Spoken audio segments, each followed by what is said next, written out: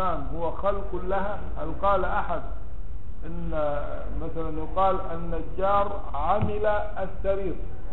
كده؟ النجار عمل السرير. هل يفهم أحد أنه عمل الخشب والمسمار؟ المسمار والخشب موجود. لم يخلقه النجار. أمال هو عامل إيه؟ عامل الهيئة السريرية. خلاص؟ إنما الخشب موجود والمسمار موجود. كذلك الحجر اللي نحتوا وصوروا فيه الصنم موجود. ولا ينكر أحد أن الله هو الذي خلق الحجر والخشب. أمال الإشكال فين؟ في الصورة التي جعلوها اللي هي الصورة الصنمية اللي هي التمثال. أيضا هذه الصورة التي عملوها مخلوقة لله تعالى. فالكلام مش في ال- في الحجر وفي ال- في المادة لا. في التشكيل اللي هم غيروا به المادة من كذا إلى كذا. بمعنى الله خلقكم وما تعملون اي خلقكم وخلق عملكم. هذا على انها ما مصدريه وإذا كانت موصولة يبقى خلقكم وخلق الذي تعملونه. يبقى اذا في الحالتين هي دليل عليه على أن الله تعالى خالق للعباد وما يفعل وما يفعلون. أو خالق للعباد وأعمال العباد وأفعال العباد. ليه؟ لأنه إذا كان خالق للذوات التي قامت بها الأعمال. يا مثلا خلق هذا الإيه؟ الثوب الأبيض. فكيف لا يكون خلق البياض الذي قام بالثوب؟ كيف خلق ال- الثوب ولا بيخلق البياض؟ لأن البياض لا يقوم إلا به بالثوب. لا يقوم آه، البياض؟ بذاته والثوب لابد أن يتشكل بصورة أو بلون إذا يلزم من خلقه للثوب خلقه للإيه؟ للبياض الذي قام به ويلزم من خلقه للعبد خلق ما يصدر عنه من إيه؟ من أعمال لأن الخلق معناه الإيجاد الإحداث إيجاد شيء ها؟ بعد أن لم يكن فالصوت وحركات العباد وأعمال العباد وقدرة العباد وما يصدر من العباد مخلوق؟ لله سبحانه وتعالى. يقول لك واعلم أن فعل العبد واقع عندنا بقدرة الله وحدها. يبقى العبد العبد له قدرة مش لم ينفوا القدرة. أهل السنة لم ينفوا لم يقولوا العبد لا قدرة له. له قدرة ولكن لا تأثير لها. أثبتوا القدرة ونفوا إيه؟ التأثير. وعند المعتزلة واقع إيه؟ بقدرة العبد وحدها. وبعض أهل السنة زي إمام الحرمين وغيره قالوا إيه؟ بمجموع القدرتين. يعني بقدرة الله وبقدرة الإيه؟ العبد معا وهذا طبعا إيه الكلام مردود إيه آه مردود عليه. يبقى اذا مذهب المعتزلة إنه الفعل بالافعال واقع بقدرة العباد وحدها. ولكن هذه القدرة التي آه توجد في العباد خلقها الله تعالى. يعني لم ينكروا أن فعل العبد واقع بقدرة العبد ولكنها قدرة مخلوقة لله تعالى. أما أهل السنة قالوا واقع بقدرة الله وحدها لأنه ده إيه؟ التوحيد في الأفعال. ما فيش مشارك له تعالى في إيه؟ في أفعاله يبقى الحاصل بعد اتفاقهم على أن الله تعالى خالق للعباد. كل يعني المذاهب كلها الفرق كلها وعلماء الكلام كلهم. اتفقوا على أن الله تعالى خالق العباد وخالق أفعال العباد الاضطرارية. لأن أفعال العباد على قسمين اضطراري واختياري.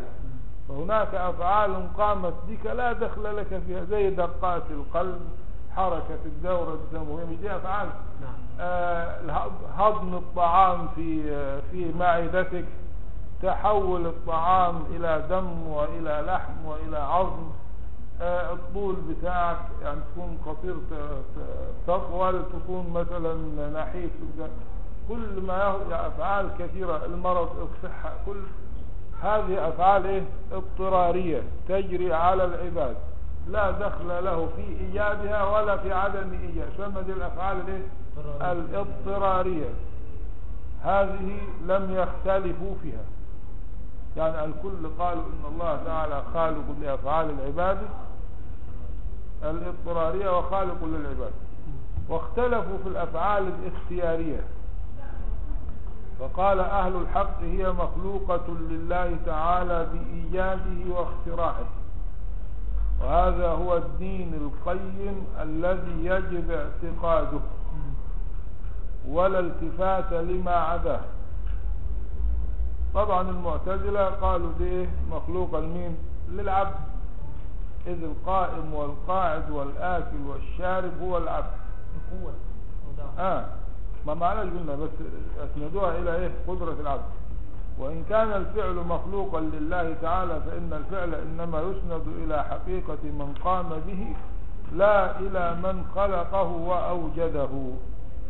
قالوا هو إذا أردتم كلام المعتزلة إسناد الفعل إلى الله تعالى.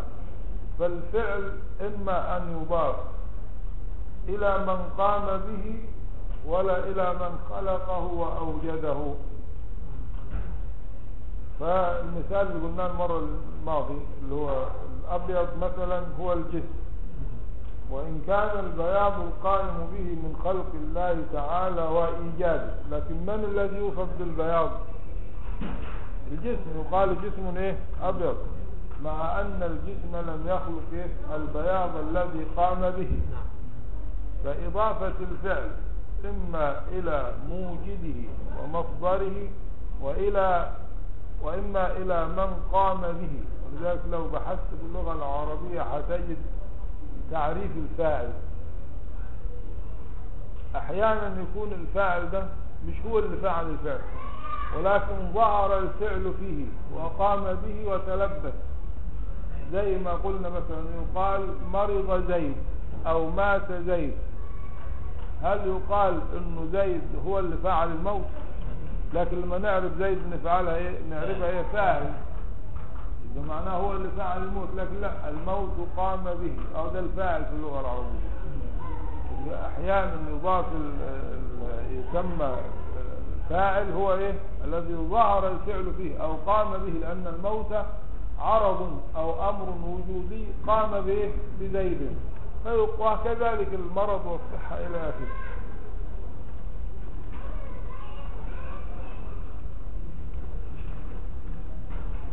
لكن قلنا كلام المعتزلة لما أسندوا أفعال العباد إلى العباد ولكنهم لم يقولوا إن القدرة التي أوجد العباد بها أفعالهم استقلالية. يعني منفصلة عن قدرة الله ولكنهم قالوا إنها مخلوقة لله ولم يكونوا يصرحون الأوائل منهم كانوا إيه؟ على أدب وعلى علم كانوا يتحاشون عن إطلاق لفظ الخالق على غير الله رغم أنهم كانوا يقولون إن العبد فاعل أه لما يصدر منه ولكن لم يقولوا خالق تأدبا الأوائل. لكن الجماعة المتأخرين الأوائل كانوا قريبين عهد بالسلف فلم يصرحوا بإيه بكلمة الخلق وأفردوا إيه؟ كلمة الخلق والإيجاد والإبداع لمين؟ لله سبحانه وتعالى.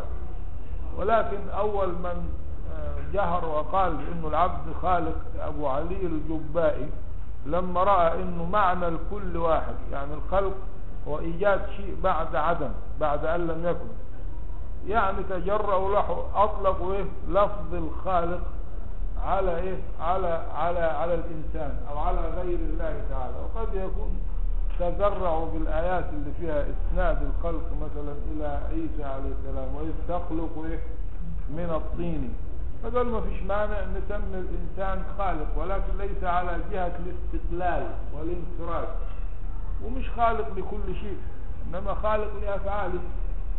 يعني جعلوه إيه؟ في نطاق ما إيه؟ مقيد محدود. ولأفعاله الاختيارية كمان يعني معناها في قيد بعد قيد مش في الأفعال كلها. نعم. لأفعاله التي له فيها إيه؟ اختيار. له فيها اختيار. لكن الرد عليهم بإيه؟ قلنا الخلق والفعل. لما يسند ال- الفعل هو فعل لما يسند الفعل إلى الله تعالى مباشرة دون إيه؟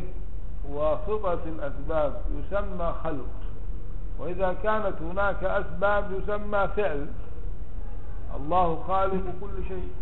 وفي آيات كثيرة فعل ربك فعال إيه؟ لما يريد. إن ربك هو الخلاق العليم. يعني مثلا عندما قال سيدنا زكريا عليه السلام أن يكون لي غلام وقد بلغني الكبر وامرأتي عاقر. قال كذلك الله يفعل. تم إيجاد الولد بعد أن لم يكن سماه هنا إيه؟ فعل. لكن عندما قالت السيدة مريم عليه السلام أن يكون لي ولد ولم يمسسني بشر قال كذلك الله يخلق. لأن هنا مباشرة ما فيش إيه؟ آه ذكر. إيجاد من عدم. إيجاد كده مباشر. إنما هناك في زوج في الظاهر وإن كان إيه؟ عاقرا لا لا ينجب فهنا سماه إيه؟ فعل. وهنا سماه خلق. القضية واحدة. ده غلام وده غلام. يعني هنا حيأتي غلام وهنا حيأتي غلام. لكن لما كان عيسى عليه السلام لم يكن له أب. مفيش أب مباشر. خلق مباشر في الأرض. إنما الثاني في الظاهر هو لما حيأتي يحيى دلوقتي حينسب إلى مين؟ إلى زكريا. أه أبوه. خلاص كده؟ يبقى معناها خلقه الله بواسطة أب. إنما الثاني ما فيش واسطة مباشرة. ولذلك نسبوهم إلى الله. فقالوا إيه؟ ابن الله. لو كان بالنسبة إلى الله بمعنى الخلق صحيحة. أن الله خلق عيسى. إن مثل عيسى عند الله إيه؟ كمثل آدم خلق ده مخلوق وده مخلوق. فكلنا منسوبين إلى الله تعالى على أنه إيه؟ على أننا مخلوقون لله تعالى. مش على أننا إيه؟ من الولادة أو أبناء الله تعالى. الله عما يقولون علوا كبيرا. فرد عليهم أهل الحق بوجوه كثيرة. أهمها أو الذي عليه نقتصر. رد عقلي واضح. أن العبد لو كان خالقا لأفعاله لكان عالما بتفاصيلها. ضرورة أن إيجاد الشيء بالقدرة والاختيار لا يكون إلا كذلك. زي مثلا النجار إذا عمل شيء عارف تفاصيله كم رجل كم مسمار كم قطعة خشب التفاصيل والكمية والعدد والزمن والوقت والهيئة والسعر والجودة التفاصيل دي كلها معروفة ليه؟ للي بيصنع الشيء مش كده؟ فلو كان العبد خالقا لأفعاله لكان عالما بتفاصيلها. زي انت إيه؟ صنعت هذا الجهاز. وهاجي أسألك مكون من إيه؟ آه إيه نظامه؟ كيفية استعماله؟ وتقول لي لا أعلم. يبقى انت لم تفعل لم تفعله. إنما لو كنت أنت الذي صنعته ها؟ وأبدعته. لعلمت التفاصيل وطريقة الاستعمال ويعني مدة الصلاحية والتركيب إلى غير ذلك. ضرورة أن إيجاد الشيء بالقدرة والاختيار لا يكون إلا كذلك. واللازم باطل فبطل الملزوم. مثلا فإن المشي من موضع إلى موضع آخر يشتمل على سكنات متخللة وعلى حركات بعضها أسرع و... يعني أنت لو مشيت من هنا إلى مسجد الإمام الحسين رضي الله عنه. المشي ده مش بتتخلل إيه حركات وسكنات وفي حركة سريعة وحركة بطيئة. ومع ذلك أنت لا تشعر بذلك وأنت جاهل تماما. فلو سئلت كم خطوة أو هي الخطوات السريعة والخطوات البطيئة لا تعلم. فكيف تكون أنت الذي خلقت هذا الفعل؟ خلاص كده؟ يبقى هنا لو كنت خالقا له لعلمت إيه؟ لعلمت تفاصيله. ومثلا هناك مسألة رأيتها أو قرأتها بالنسبة للزمخشري لما كان معتزلا وشديد الاعتزال فتزوج في آخر حياته. فلما يعني أرهق من مسألة آه، الم- المقدرة على مجامعة الزوجة وأصبح خامدا ساكنا وكان كبيرا في السن يعني فطلبت منه أن يرجع إلى هذا الأمر مرة أخرى. فرجع ولكن بإيه؟ بشق الأنفس والخيل والبغال والحياة وبعدين طلبت أن يعود مرة أخرى. فأقسم لها بالله أنه لا يقدر. فقالت له ولماذا لا تقدر؟ وأنت وهذا فعل اختياري. كنت تقول العبد؟ خالق لأفعاله الاختيارية. قم فاخلق قدرة على هذا الأمر فعلم بطلان مذهبه ورجع عن الاعتدال كما إيه قرأ يقال هذا والله. وبعضهم إيه؟ أنكر هذا. المهم حدث أو لم يحدث لكنه دليل على أن العبد لا يخلق أفعاله الاختيارية. لأن هذا من ضمن الأفعال الإيه؟ الاختيارية. مم. يقول قائل آه، أفعل فعلا وأعلم التفاصيل هل يعني ذلك أنه خلق؟ نعم. ممكن واحد يقول أنا أعمل حاجة وما أعلم التفاصيل بتاعتها. لو علم آه، فعلا الجزئية دي تكلم عن الأفعال كلها الجزء ده ما ما- يعني لا يكر بالبطلان على الكل إنه ده فرد مفرد جزئي. إنما إحنا نقول أفعالك كلها الاختيار. ليه أنت؟ يعني مثلا هذا الجزء الذي علمت تفاصيله أنت خلقته طيب الأجزاء الأخرى. مش انت اللي فعلتها كيف لا تكون خالقا لها؟ فما ينسحب على هذا أو ما يلزم في هذا يلزم في غيره. والأجزاء كلها إيه؟ ليه علمت بهذا ولم تعلم؟ ما دام تحسسه ذكرت ده.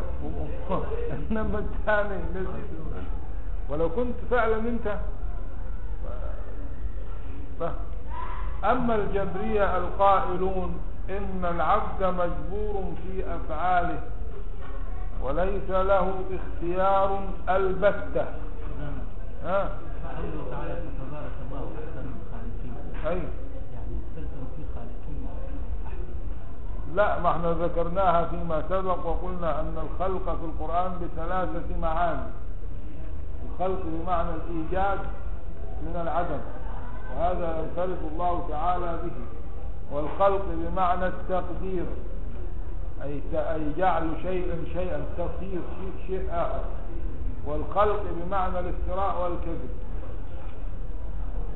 والله تعالى خالق يعني يخلق الخلق إما أن يخلق شيء يحدث يعني شيء من لا شيء أو شيء من شيء أو لا شيء من لا شيء أو لا شيء من شيء. هذه الأقسام.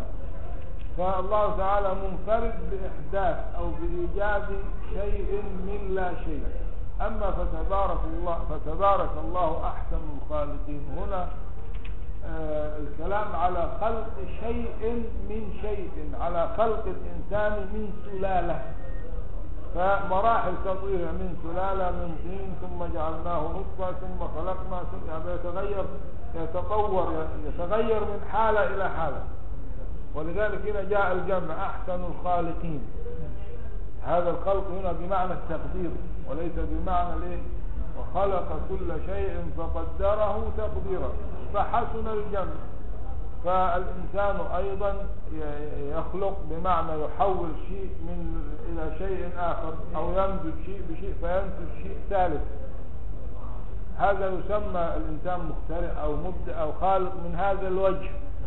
ولكن لما كان في لبس ها أو في اشتباه بأن يقع الخلق على المعنى الأول منعوا من إطلاق خالق على غير الله تعالى حتى لكن لو فهمتها خلاص ما هو موجود في القرآن.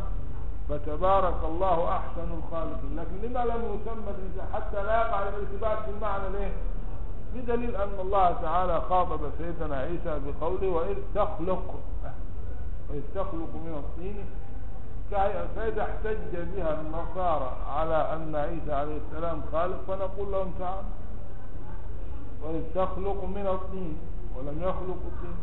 وقال كهيئة الطير ولم يقل طيرا. وقال بإذنه. يبقى المسألة راجعة لمين؟ إلى الله تعالى. الجبرية قالوا إيه؟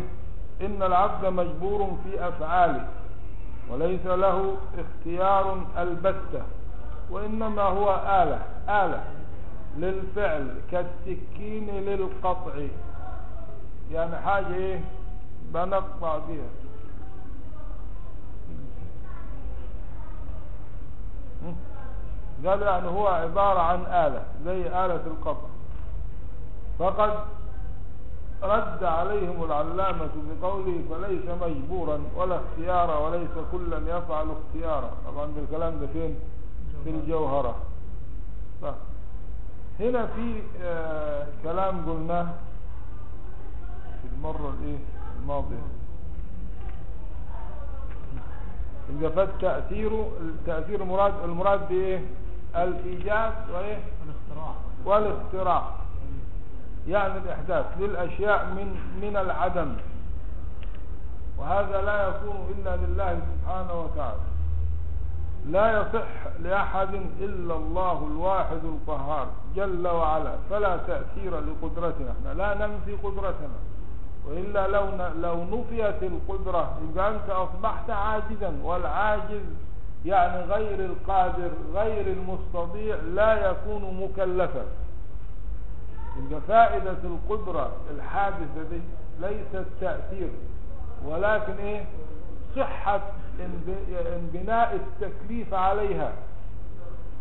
يعني لولا وجود هذه القدرة الحادثة لا يكلف الإنسان فيكون حينئذ ليس مستطيعا وليس عنده قدرة. يعني يكون عاجز.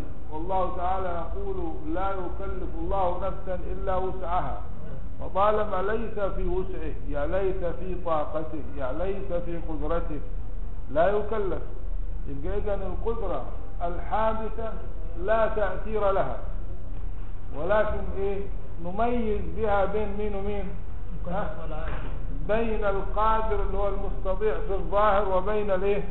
العاجز. فلا تأثير لقدرتنا في شيء من أفعالنا الاختيارية. زي اللي الحركات. حركاتنا كلامنا أي شيء. فالتأثير ليس إلا للواحد القهار يعني لا تأثير لقدرتنا من أفعالنا الاختيارية كالحركات والسكنات والقيام والقعود ونحو ذلك. والطاعات والمعاصي كل شيء؟ لا حول ولا قوة إلا بالله. لا حول يعني؟ لا حول يعني تحول عن شيء إلى شيء آخر. ولا قدرة على فعل شيء إلا بالله. مش بك. فمن نفسك أو من جهتك لا حول لك ولا قوة. لا حول ولا قوة إلا إيه؟ إلا بالله. وهي كنز من كنوز الجنة. حد عنده شيء؟ تحول. بالنسبة لقدرة المشاهد لو قلنا قدرة الحرثة أيضا من من خلق الله. هل يجوز أن يكون؟ هذه القدرة الح- الحادثة من خلق الله يخلقها الله. والفعل الذي يكون عندها مش بها ها؟ الفعل يكون عندها لا بها. أيضا من خلق الله. إذا فما فائدتها ولا تأثير لها؟ لأن التي الذي عنده هذه القدرة اسمه مستطيع واسمه مكلف. والذي ليس عنده هذه القدرة غير مكلف وغير مستطيع يعني عاجز. خلاص كده؟ عاجز. خلاص كده؟ يبقى لا يتأتى له التكليف ولا يتأتى منه الإيه؟ ولا ولا يخلق الله تعالى الفعل عند عدم وجود هذه الإيه؟ القدرة. فيخلق الله تعالى الفعل عند؟ اقتران هذه القدرة وليس لها تأثير في أفعالنا الاختيارية كالحركات والسكنات والقيام والقعود ونحو ذلك بل جميع ذلك مخلوق له سبحانه وتعالى بلا واسطة كما أن قدرتنا الحادثة مخلوقة له تعالى والدليل على ذلك قوله تعالى والله خلق والله خلقكم وما تعملون. أي وخلق عملكم. أو وخلق إيه؟ معمولاتكم. واضح؟ فإن قلت إذا لم يكن لنا قدرة على إيجاد شيء يبقى إذا لما هنا قلنا خد العبارة اللي قلناها فوق جميع ذلك اللي أفعالنا الاختيارية مخلوقة لله تعالى بلا إيه؟ بلا واسطة. كلمة بلا واسطة إشارة لرد اعتقاد من يعتقد أن أفعاله تعالى تفتقر إلى الوسائط كاعتقاد أن الأسباب العادية تؤثر بقوة أودعت فيها. وسيأتي إبطال هذا عند قوله إيه؟ ومن يقل بالقوة الإيه؟ المودعة. يبقى الدليل في قوله تعالى والله خلقكم وما تعملون يعني خلقكم وخلق عملكم على ما اختاره سيبويه وده إمام النحو. أنه ما إيه مصدرية لاستغنائها عن الحذف والإضمار وعليه فالأمر ظاهر. طب وإذا كانت ما ما إما ما إما تكون مصدرية إما تكون إيه؟ إما تكون موصولة. الموصولة يعني بمعنى إيه؟ بمعنى الذي والضمير محذوف. يبقى المصدرية ده مش عاوز إيه؟ ضمير. إنما لو كانت موصولة يبقى معناها في ضمير. يبقى والذي تعملونه. كده؟ ده إذا كانت إيه؟ موصولة. إنما إذا كانت مصدرية لا تحتاج إلى إيه؟ إلى ضمير. يعني هتبقى معناها على أنها موصولة أي خلقكم وخلق الذي تعملونه. لازم يكون الضمير عشان الرب أي خلقكم وخلق معمولكم؟ يبقى إذا كانت آه مصدرية خلقكم العمل المصدر. ده وإذا كانت موصولة يبقى الإيه؟ المعمول. خلقكم وخلق معمولكم أو معمولاتكم. اللي هي إيه المعمولات اللي عملوها دي؟ أو العمل شوف من الجماعة دول عن ال يقول لهم روحوا عند الرواق العباس إذا خلقكم وخلق إيه؟ معمولاتكم. معمولاتكم على إنه ده إيه؟ موصول. آه اللي هي إيه؟ التي أشار إليها تعالى بقوله أفتعبدون ما تنحتون. يعني ما تنحتونه توبيخا لهم على عبادة ما يعملونه من الأصنام. فلا تدل لل فلا دليل فيها للمعتزلة أيضا. لأن المعتزلة جعلوها إيه؟ آه جعلوها موصولة. تمام كده؟ ما فيهاش دليل لأنه حتى ال- ال- الحجر اللي بيصوروه تمثال أو الخشب اللي بيصنعوه ما ادعى أحد للمعتزلة أنهم هم الذين خلقونا لكن الكلام واقع على إيه؟ على صنعهم وعلى إيه؟ تصويرهم يعني على الهيئة التي أحدثوها في الحجر والخشب. وليس على خلق الخشب إيه؟ أو الحجر لأنه لم يقل به أحد. طيب. فإن قلت ده السؤال المهم. إذا لم يكن لنا قدرة على إيجاد شيء فكيف ينسب لنا العمل؟ وكيف يصح تكليفنا به ونخاطب به؟ يعني إحنا طبعا إيه ملناش قدرة على إيجاد شيء. خد بالك على إيجاد شيء. يعني على إحداث شيء من عدم. فكيف ينسب لنا العمل؟ وكيف يصح تكليفنا به ومخاطبتنا به؟ لأن التكليف ده خطاب خطاب الله تعالى. قال تعالى وقل اعملوا. خطاب الله تعالى المتعلق بأفعال المكلفين. وهو خطاب. والله تعالى قال وقل اعملوا. يبقى مين اللي هيعمل هنا؟ المكلف. فسيرى الله عملكم. فأسند العمل إلى مين؟ إلى المكلفين. وذلك إيه؟ ظاهر في نسبة العمل إلى العباد. وذلك كثير في الكتاب والسنة. قلنا اي الجواب النسبة إلينا ومخاطبتنا بتحصيله من حيث ده مذهب الإيه؟ الأشاعرة.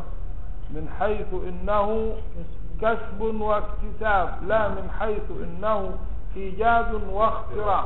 يعني معنى كده يريد أن يقول لك هناك جهتان جهتين مش جهة واحدة. جهة من حيث الخلق والإيجاد. يعني إذا العمل له جهتان. جهة من حيث إيجاده وإحداثه بعد العدم وهذا لا ينسب إلا إلى الله تعالى. أما إلى العبد من حيث أنه كسب واكتساب. كسب لما يكون إيه؟ في الخير. اكتساب لما يكون في الشر. قال تعالى لها ما كسبت وعليها. وعليها يعني فين؟ في الشر. وعليها إيه؟ ما اكتسبت. واضح هنا؟ وتوضيح ذلك أن قدرته تعالى أبرزت الأشياء على طبق إرادته من العدم إلى الوجود. وهذا الإبراز هو المسمى بالإيجاد والاختراع. وهو المراد بتعلق القدرة القديمة وأما قدرتنا فقد تعلقت ببعض الأفعال اللي الأفعال الإيه؟ الاختيارية برضو تعلق القدرة بتاعتنا إحنا على جهة الكسب والاكتساب وليس على جهة الإيه؟ الإيجاد والاختراع وهي الأفعال الاختيارية التي لنا فيها الاختيار والميل والقصد من غير إيجاد واختراع. يعني إحنا إيه؟ اخترنا. إحنا عندنا اختيار. والاختيار ثابت ومقرر. وعندنا ميل. لأنه الإنسان إذا اختار شيئا يعني يعني مال إليه. حتى مسألة الاختيار مثلا في إيه؟ في الزواج. هتختار إلا إذا كان في ميل. جماعة اللي بره قاعدين مفيش خلاص مش خلاص. لا، الحمد لله. يعني أصبحوا عدم شكرا يا شيخ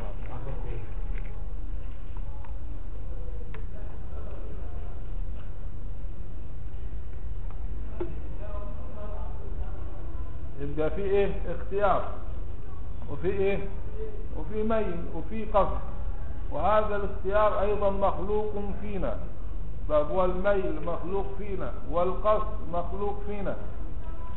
لكن ال- الفعل ليس لنا. امال لمين لله تعالى عشان موضوع وحدانية الإيه؟ وحدانية الأفعال. نعم. وهذا التعلق على طبق إرادتنا والمسمى كده التعلق اللي هو على طبق أصل إحنا عندنا حاجتين عندنا إرادة وعندنا قدرة. وإرادتنا حادثة وقدرتنا إيه؟ حادثة. والله تعالى عنده إرادة وعنده إيه؟ قدرة وقدرته قديمة وإرادته قديمة. قديمة. يبقى إذا الإرادة القديمة دي تقيد أو تحكم على الإيه؟ الإرادة الحادثة وأيضا على القدرة الإيه؟ الحادثة. فلا يكون شيء بالإرادة القديمة الحادثة ولا إيه؟ بالقدرة الحادثة. أمال التعلق ده يبقى يسمى عندما يكون التعلق بالإرادة الحادثة والقدرة الحادثة يسمى كسب أو اكتساب وبالقديمة يسمى إيجاد وإيه؟ وتأثير. فضيلة مولانا حالكم يا سيدي دعواتكم يا مولانا. يبقى عندنا إحنا إيه؟ عندنا جهتان الاختيار والميل والقصد من غير إيجاد واختراع. نعم. وهذا التعلق على طبق الإرادة الحادثة. الحادثة. مسمى كسب واكتساب. فتعلق قدرة الله تعالى على وفق إرادته تعلق إيجاد وتعلق قدرتنا على طبق إرادتنا تعلق كسب. يعني تعلق هو كسب لا إيجاد. فأفعالنا الاختيارية قد تعلقت بها القدرتان.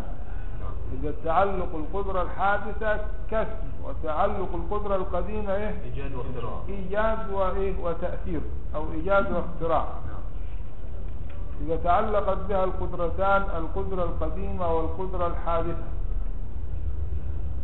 وليس للقدرة الحادثة تأثير وإنما لها مجرد مقارنة. والله تعالى يخلق الفعل عندها أه، لا بها. لا بها. يبقى إحنا عندنا الاختيار ثابت ومقرر وعندنا الميل وعندنا القصد حتى في القرآن الكريم فلا تميلوا. يعني في إيه؟ في ميل وفي قصد للإنسان. وهذا الميل خلقه الله تعالى فيها لم يخلقه الإنسان. والقصد خلقه الله والعزم والتصميم كل هذا قبل الإيه؟ قبل الفعل. لكن إيجاد الفعل وإحداث الفعل ليس إيه للقدرة الحادثة.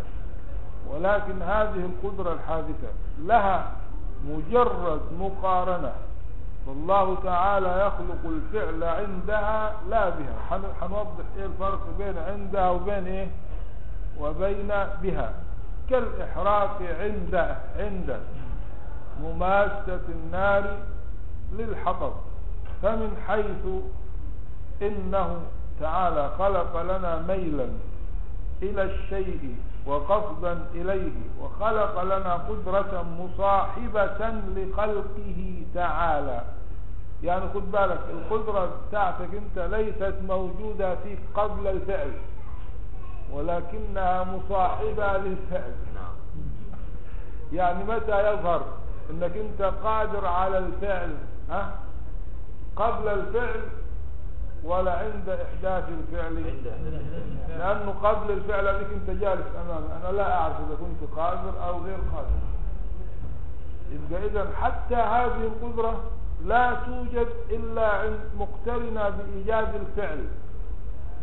فكأن الله تعالى إذا خلق الفعل خلق معه معه هذه القدرة المصاحبة له. حتى يكون الإنسان مسؤولا أو قادرا أو مستطيعا.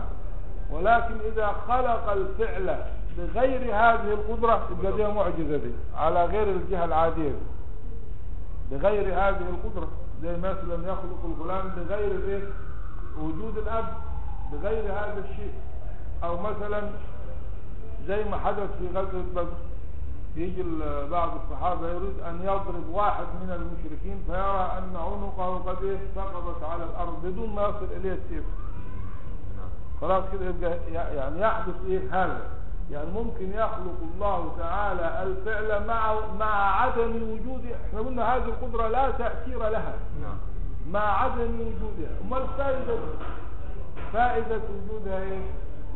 عشان نميز التكليف. عشان التكليف نعم لأنه في هذه الحالة لو ما فيش قدرة لنا ولا نشعر بها وليست مصاحبة للفعل هنبقى إحنا إيه؟ مجبورون. نعم. والجبر واضح. نعم. وطالما فينا إرادة يعني فينا اختيار يبقى لابد من وجود هذه القدرة الحادثة. واضح ولا مش واضح؟ نعم. معنى كده مولانا الإنسان ملوش فعل بالقوة. ملوش إيه؟ ملوش فعل بالقوة. كيف فعل بقوة؟ يعني مثلا أنا دلوقتي لما أغمض عيني فأنا مبصر بالقوة. مبصر بالقوة. يعني عندي مقدرة على الإبصار ولكن لا أبصر. فمعنى ذلك ما عندك المقدرة بمعنى المق- المقدرة اللي عندك بمعنى أن هذه المقدرة يخلقها الله تعالى مش موجودة بالفعل إذا أردت أن تبصر. يبقى الإنسان ما ينسبش له قوة إبصار خالص بالقوة. لا ينسب إليها على الحقيقة بالنسبة للمجازية ده مش الان نقول وقول اعملوا وأسند الله تعالى الأعمال إلينا لكن اسنادها على جهة الإيه؟ مجال على جهة الكسب وليس على جهة الإيه؟ الإيجاب. عشان يتحقق بس معنى أنه تعالى واحد في إيه؟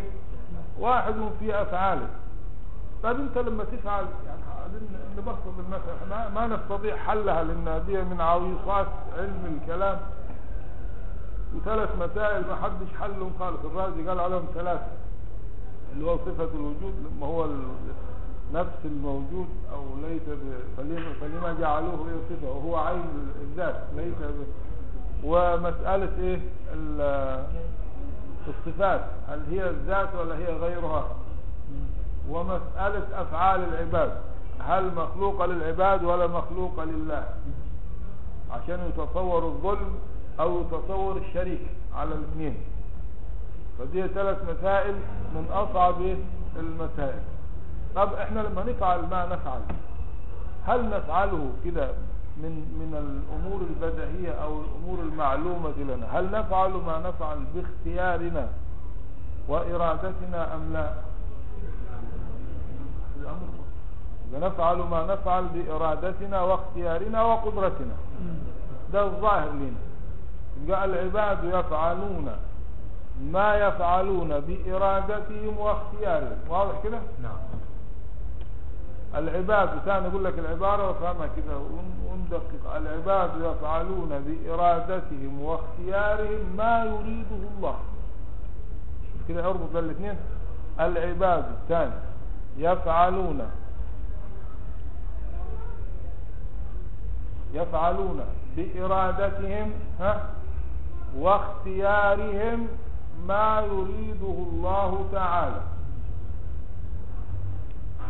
يعني ما يريد الله تعالى منا أن نفعله هو يريد أن نفعل شيء.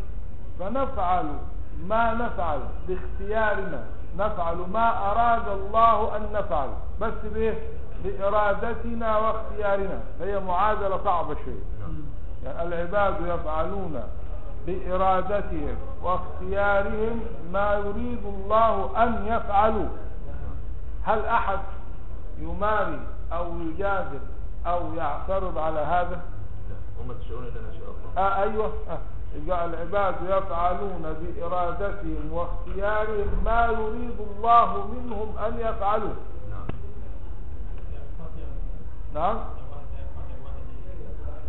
أنت الآن دلوقتي لا يحدث شيء في هذا الوجود إلا إذا إيه؟ أراده الله. وما يحدث يا إما يكون بفعلنا واختيارنا يا إما يكون بغير اختيارنا. وإحنا قلنا في أفعال آه، اضطرارية وفي أفعال اختيارية. لا نزاع في إيه؟ فيما هو مضطر فيه الإنسان أو مجبور عليه إيه؟ ظاهرا وباطنا. نفعل كل ما نفعله من أمورنا أو من أفعالنا الاختيارية بإيه؟ بإرادة الله تعالى ومشيئته. فنريد أن نكون عبارة جميلة آه، تجمع إيه؟ أو تحل لنا المشكلة بمعنى تقرب لنا الشيء. العباد يفعلون بإرادتهم واختيارهم ما يريد الله أن يفعلوا. يبقى اجتمعت هنا إيه؟ الإرادتان والإيه؟ والقدرتان. بس عندنا إيه؟ عندنا جهتان.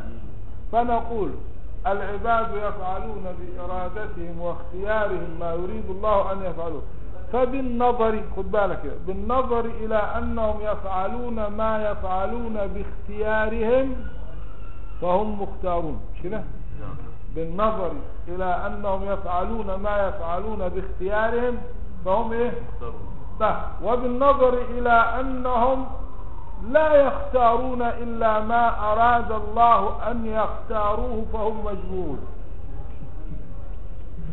ثاني كده؟ يعني عندنا حننظر بعينين وليس بعين واحدة. ننظر إلى العباد في أنفسهم وفي هل تفعلون ما تفعلون بغير إرادتكم؟ يقولون لا نفعل بإرادتك. إذا فأنتم مختارون. هل تختارون إلا ما أراد الله أن تختاروه؟ يقولوا لا فأنتم مجبورون.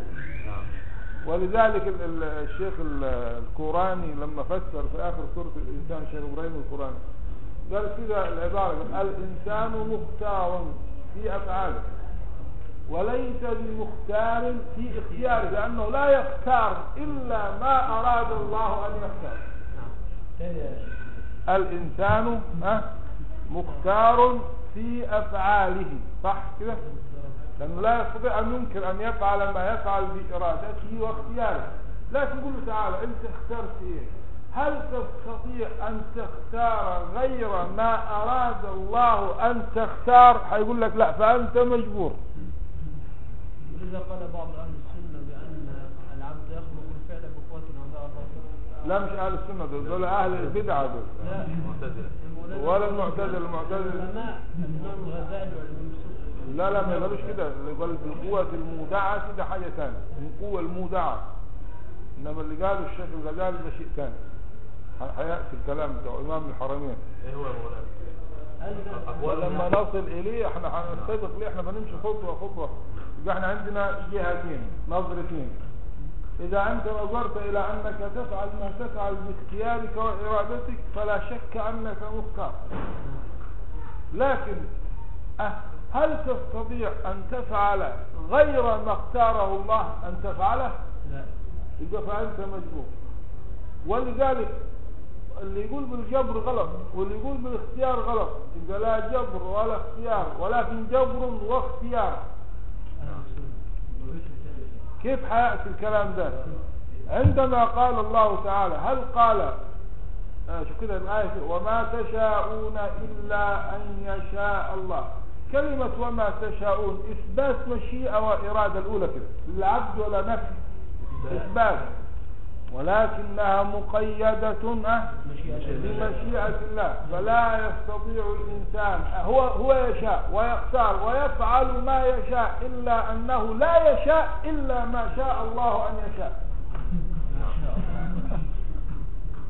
واضحة أنت تشاء. يقول لك اعملوا ما شئتم. وانت حكيت بالقرآن وقال لك وما تشاءون يعني أثبت لك المشيئة. ولكن قال لك شئ ما شئت فإنك لن تشاء إلا ما شئت. ما هو هنا وما تشاءون إلا إيه إلا أن يشاء الله. فأنا أعطيك الأول خطوة خطوة امشي معي مرحلة مرحلة عشان نصل بالنظر إلى أنهم يفعلون ما يفعلون باختيارهم فهم إيه؟ مختارون. ولا يماري في هذا إلا مكابر ولكن بالنظر إلى أنهم لا يختارون إلا ما أراد الله أن يختاروه فهم مجبورون. طب وبعدين؟ هل هم مختارون ولا هم مجبورون؟ اختار المحققون. ألا جبر ولا تفويض. يعني لا جبر يعني ليس الإنسان مجبور. ولا تفويض يعني ليس هو حر ليس هو مفوض أن يفعل ما يشاء. لأنه لو كان مفوض أن يفعل ما يشاء فالمفوض إليه لا يشاء إلا ما شاءه المفوض. يبقى هو جبر ولكن ليس كالجبر وتفويض ولكن ليس كالتفويض. جبر ليس كالجبر من جهة أن الإنسان جبر ليس كالجبر لأنه لا يصادم إرادة الإنسان. لو كنت أنت مجبورا حقيقة يبقى معناها هذا حيصطدم مع الإرادة يبقى أنت معناها ما أردتوش لكن أنت أردته صح. وليس تفويضا لأنه ما ترك لك أن آه، تفعل أو تفوض في الفعل إلا أن تفعل ما أراده المفوض.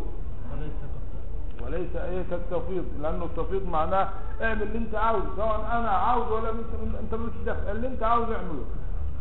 يبقى بالنسبة ما تشغلناش اعمل المعروف أنت كده شغلتني رايحه جاية 100 مرة اقعد كده مرة.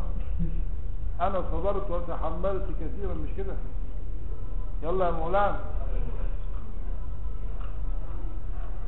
كثرة الدخول والخروج في الدرس هذا يشغلنا وده علم يؤدي إليه.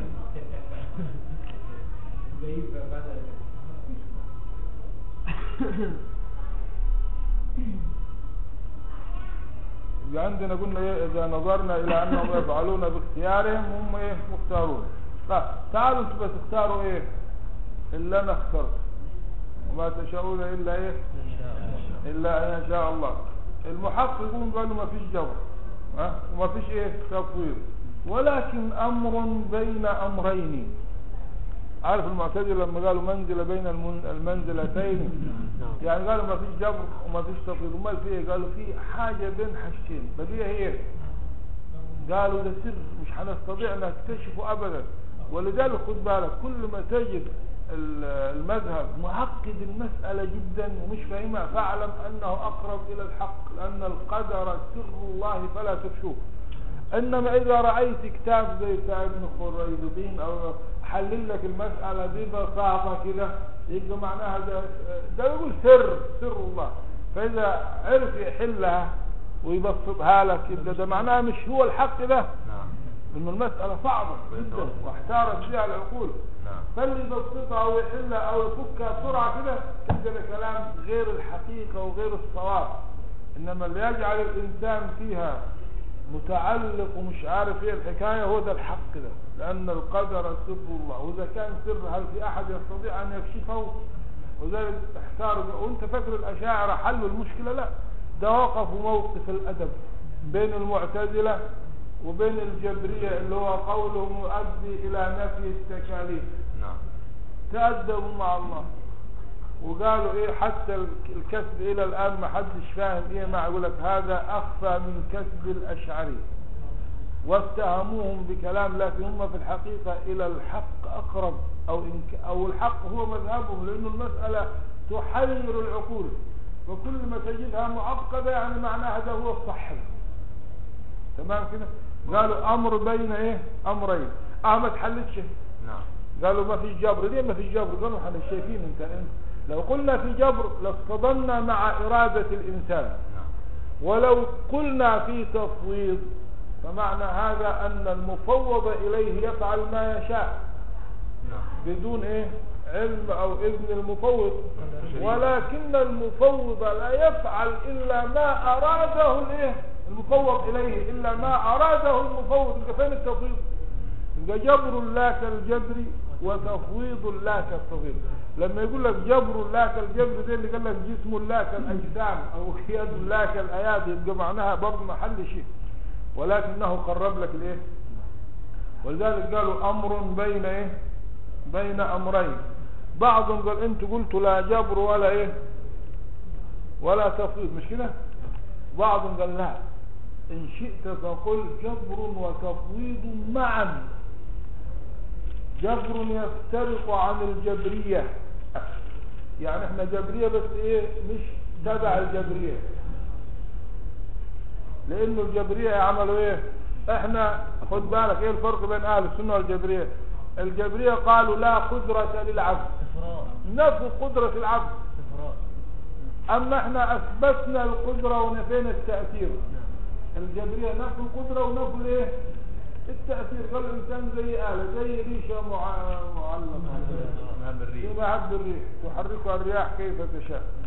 يبقى إذا جبر يفترق عن الجبرية لعدم مصادمته إرادة المجبور. وتفويض يفترق عن الكلام المعتزلة. لعدم اختيار المفوض إليه إلا ما أراده المفوض. فالإنسان يفعل ما يشاء ولا يشاء إلا ما شاء الله أن يشاء. فهو يفعل ما يشاء الله ويشاء هو نفسه معا. فهناك تفويض لأنه يفعل ما يشاء وهناك جبر أو شبهة جبر لأنه لا يفعل غير ما يشاء الله. وهذا أي الجمع. يبقى إحنا شوف كده؟ إحنا الأول قلنا إيه؟ ما فيش جبر وما فيش تفويض ورجعنا قلنا في جبر وفي إيه؟ وفي إيه؟ تفويض. وفي تفويض. وعرفنا إيه معنى في جبر كيف وكيف في إيه؟ تفويض. يبقى معنى كده عملنا إيه إحنا كده. جمعنا بين حاجتين كأنهما يعني متعا- متعارضتين. آه، فهذا الجمع اللي هو جمع الجبر مع التفويض والتسيير مع التخيير من خصائص قدرة الله التي لا يقدر عليها إلا الله. كونه يجمع بين إيه؟ الجبر والتفويض وبين الايه التسيير مع التخيير. فهذا من خواص قدرة الله تعالى. لا يقدر على ذلك إلا الله. فإن عد ال- أفرض واحد قال لك إيه؟ اتعنا ما كده بالطريقة بتاعتكم دي؟ يعني هنصل في النهاية إلى الإيه؟ إلى الجبر. فيقولون إن الإنسان مجبور يعني بناء على إيه؟ على ما قررتموه بموقفه هذا من أفعاله. هيقولوا لنا مجبور. تمام كده؟ نقول لهم حتى لو انتهينا نقولنا لكن في إرادة. حتى لو انتهينا إلى هذا القول فهو مجبور ولكنه غير معذور. تمام كده؟ لا مفيش تناقض. متى يكون التناقض؟ يكون التناقض لو كان ها؟ لو كان الإنسان ملوش إرادة. تمام؟ إنما أنت أنت لك إرادة وأنت هتفعل ما تشاء وهتشعر بذلك ولكنك لا تشاء ده خالق أصل أنت عشان تفهم إنه في تناقض ولا فيش تناقض لازم تفهم العلاقة بين القديم الأزلي وبين الحادث وهذه لا تقدر عليها العقول دي من مواقف العقول. ما تقدرش تفهمها عشان تحكم بالتناقض. لأنك الآن كده تقرر في نفسك وبالبداهة أنك تفعل ما تشاء. دي الجهة بتاعتك. ولكن الجهة بتاعت ربنا أنه لا يكون في خلقه إلا ما يشاء. فكيف تم أو العلاقة بين الإرادتين؟ هذا لا تفهمه العقول. ولذلك قلنا القدر سر الله فلا تكفوه. أين التناقض؟ التناقض لو أنت آه لا لم تشأ شيء آه ثم فعلته وهذا لا يحدث عندك. وإلا في هذه الحاجة حيبقى خارج عن إيه عن ارادتك أنت مجبور عليها وظاهر الجبر قال لأن الأفعال الاضطرارية. وقلنا الأفعال الاضطرارية لم يختلفوا فيها إنما الاختلاف في إيه وهعطيك مثل لنا في إحنا كنا في في الثانوي زمان قالوا لنا هعطيك مثل لاتحاد الإرادتين بدون تناقض وبدون تعارض. أنا مثلا إيه شيخ معهد أو مدير مدرسة فيأتيني إيه كل يوم في ناس بتتسلق من السور ها؟ زي ما كنا نعمل زمان نقل نفذ من الايه يعني كذلك كنتم من قبل.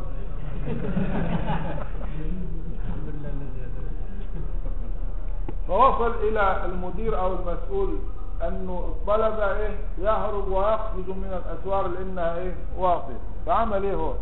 رفع الأسوار وأصبح الخروج منها مستحيل. وبعدين أغلق الأبواب. هل يستطيع أحد الخروج؟ خلاص كده تمام. لكنه لا يعرف الجالس هل جالس باختياره ولا جالس لأنه لا يستطيع الخروج؟ يعني أصبح هنا الأمر إيه مش هنعرف مين اللي قاعد هنا. ما هو أنت لو حبيت تخرج ما فيش مجال. فلا بد إيه؟ لكن في ناس فعلا جالسة حتى لو فتحت الأبواب مش هتخرج. أو حتى لو استطاعت الخروج. وفي ناس تريد أن تخرج ولكنها لا تضطر إلى الإيه؟ فماذا فعل راح فتح الأبواب على مصراعيها. قال بلاش تتعبوا نفسكم ليه وتروحوا تقفزوا من أهل باب نفسكم وما فيش حرج ولا فيش أحد حيمنع من الإيه؟ ها؟ من الخروج. فالسؤال هنا في بعض الناس هيجلسوا وفي بعض الناس إيه؟ لما هيرى الابواب مفتوحة وما فيش يعني حد بياخد غياب ولا حضور هيروح يخرج. السؤال هنا هل خرج من خرج بإرادته ومشيئته أم لا. نعم. طيب في نفس الوقت بإرادة المسؤول اللي هو الشيخ المعهد أم لا. لأنه لو أراد عدم الخروج لأغلق الباب. يبقى معناها كأنه أراد أن يخرجوا لكن بإرادتهم. اتحدت الإرادتين ولا ما اتحدتش؟ لأنه هو لو لو لم يرد لهم الخروج هيغلق الايه؟ الباب. ولكن أراد الخروج ولكن ما جعل جعل الأمر في أخرج كذا وحملهم ولكن جعلهم يختارون الخروج بأنفسهم بدليل أن هناك قوما لم يخرجوا. وبقوا على هذا. قال هذا في تناقض؟ وضحت ما وضحتش ممكن ينجحوا في زي حديك مسألة في النجاح والسقوط. ها هو كده يا مولانا هكذا الله سبحانه من أنا معاكم ليه كام شهر وحفظتكم وعارف مستواكم وعارف كذا. من غير امتحان أستطيع أقول ده هياخد 10 هياخد 20 ده صفر من غير امتحان. نعم. ولكن لو عملت كده هيجي واحد من الصعيد يحتج إيه رايك ان أنا أنت لا أنت مش عارفش مستواي ولا قدراتي ده أنت مش خالقي ولا حاجة. ده انت لو امتحنتني أنا كنت هطلع الأول. فتديني ليه 50 اعمل امتحان أنا هطلع الأول.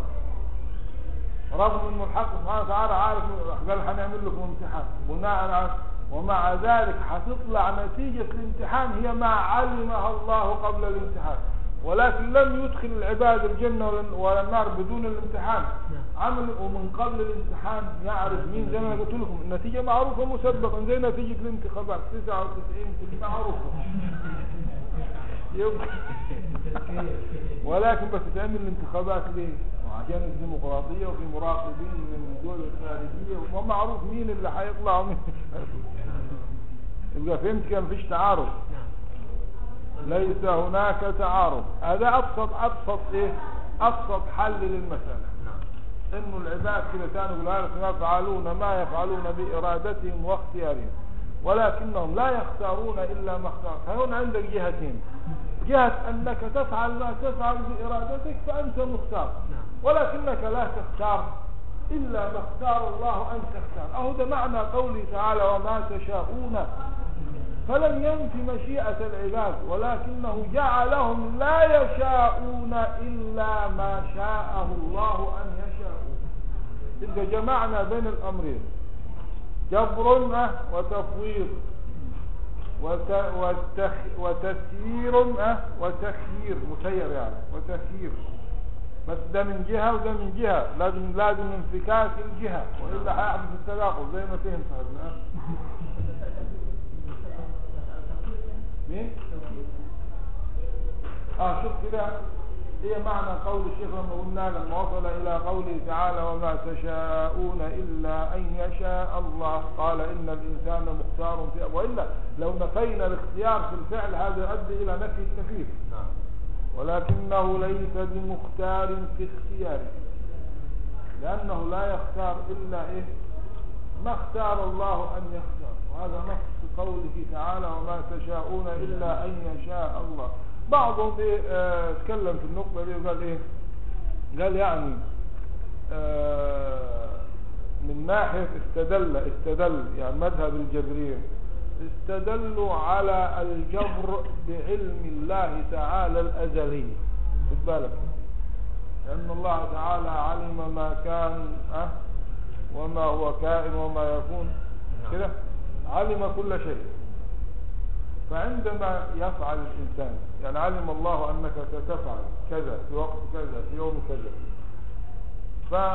فحل المشكلة دي قال إنه لا يستطيع الإنسان أن يحدث شيئا أو يفعل شيئا غير ما سبق به العلم الأزلي. فمعنى هذا كده مجبور كده؟ فردوا عليهم قالوا العلم صفة انكشاف وليس صفة تأثير. لأنه. أنا أعلم أنك مسافر ولا ت- التأثير ليه؟ بالقدرة فانتفى الجبر بانتفاء التأثير لصفة الايه؟ العلم وقالوا من مين اللي تابع لمين؟ يعني إحنا نعتبر أفعال دي معلومات العلم نعم فالمعلوم هو اللي تابع للعلم ولا العلم هو اللي تابع للمعلوم علم تبع المعلوم أيوة قال بل العلم هو اللي تابع للمعلوم حتى يكون العلم حقيقيا ولا يكون جهلا. نعم. لازم العلم يكون وفق المعلوم. لكن عندما كده خد بالك كتب الله تعالى أن العباد يعني ما يصدر من أفعال العباد. هل هذه الكتابة كتب لأنهم يفعلون كذا؟ ولا كتب يعني معناها لما يفعل الإنسان هل يفعل هذا لأن الله كتبه عليه؟ أم الله تعالى يعلم ما سيقع منه فكتبه عليه؟ يعلم ما سيقع كتب يبقى عليه. معناها الكتابة مطابقة للواقع. نعم. وليس لها تأثير في فعل أو في أو في عدم تمام كده؟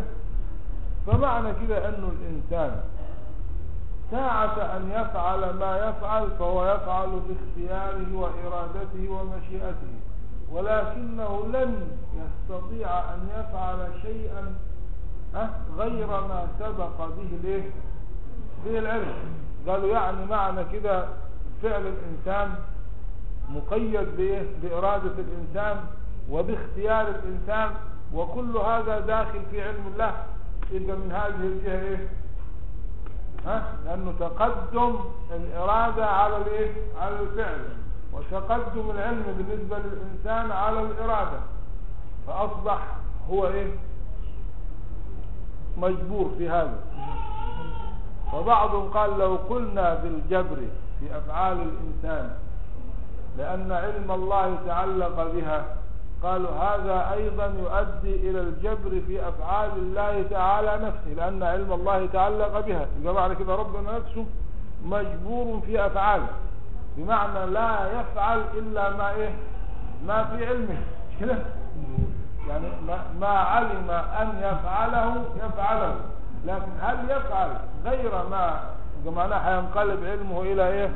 إلى قال ده مش الجبر في أفعال الإنسان بس ده في أفعال الله تعالى. فالرد عليهم بإيه؟ إنه الاختيار. ينافي إيه؟ ينافي الإرادة ولا ينافي الفعل. كيف ينافي الإرادة وما ينافيش الفعل؟ لأن الإرادة لازم يكون بين أمرين. تخصيص أحد الإيه؟ الممكن ببعض ما يجوز عليه. نعم.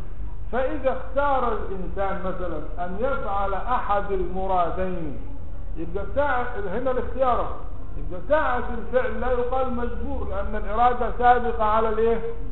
على الفعل. فهو ما فعل ما فعل إلا بعد أن اختار إلا بعد ما اختار أن يفعله. فلا يكون الاختيار عند الفعل ولكن يكون الاختيار عند الايه؟ عند الإرادة. ما فيش الاختيار أن يكون عند الايه؟ إرادة هذا بالنسبة للإنسان. لكن لما كانت إرادة الله تعالى أزلية وعلمه أزلي. يبقى ما فيش سبق حاجة على حاجة. العلم أزلي والإرادة إيه؟ أزلية. فعندما خصص الله الممكن ببعض ما يجوز عليه في الأزل كان في إرادته مختارا. فبعد أن يختار الله تعالى أحد الأمرين اللي هم يجوز على الممكن نيجي عند التنفيذ نقول هو مجبور. لما هو اللي اختار في الأزل كده. فانتفى كلمة إيه؟ الجبر في أفعال الله تعالى. لكن لما كانت لما لم يكن قبل الأزل أزل ولا قبل الإرادة إرادة ولا قبل العلم علم بالنسبة لله تعالى كان الاختيار على إيه؟ على معناه الصحيح. أما بالنسبة للإنسان فسبق اختياره آه، بعلم الله تعالى لكن ما في سبق بين علم الله وإرادته. فالعلم ازليه نعم نعم فالكلام اللي قوله على الإيه؟ بالنسبة لله تعالى لا يصح. نعم. أما بالنسبة للإنسان ولذلك لم يقل تعالى ما ما أقدر أو ما أنفذ أو لا أفعل إلا ما إيه؟ ما أشاء. إنما قال بالنسبة لمين؟ بالنسبة للإنسان قال وما تشاءون إلا إيه إلا أن يشاء الله. يبقى هذا كثير في الكتاب والسنة من إسناد أفعال العباد. إحنا وصلنا عند إيه؟ عند تأثير القدرة الحادثة. القدرة الحادثة لا تأثير لها إلا إيه؟ مجرد ها؟ الاقتران. الاقتران. يعني تقترن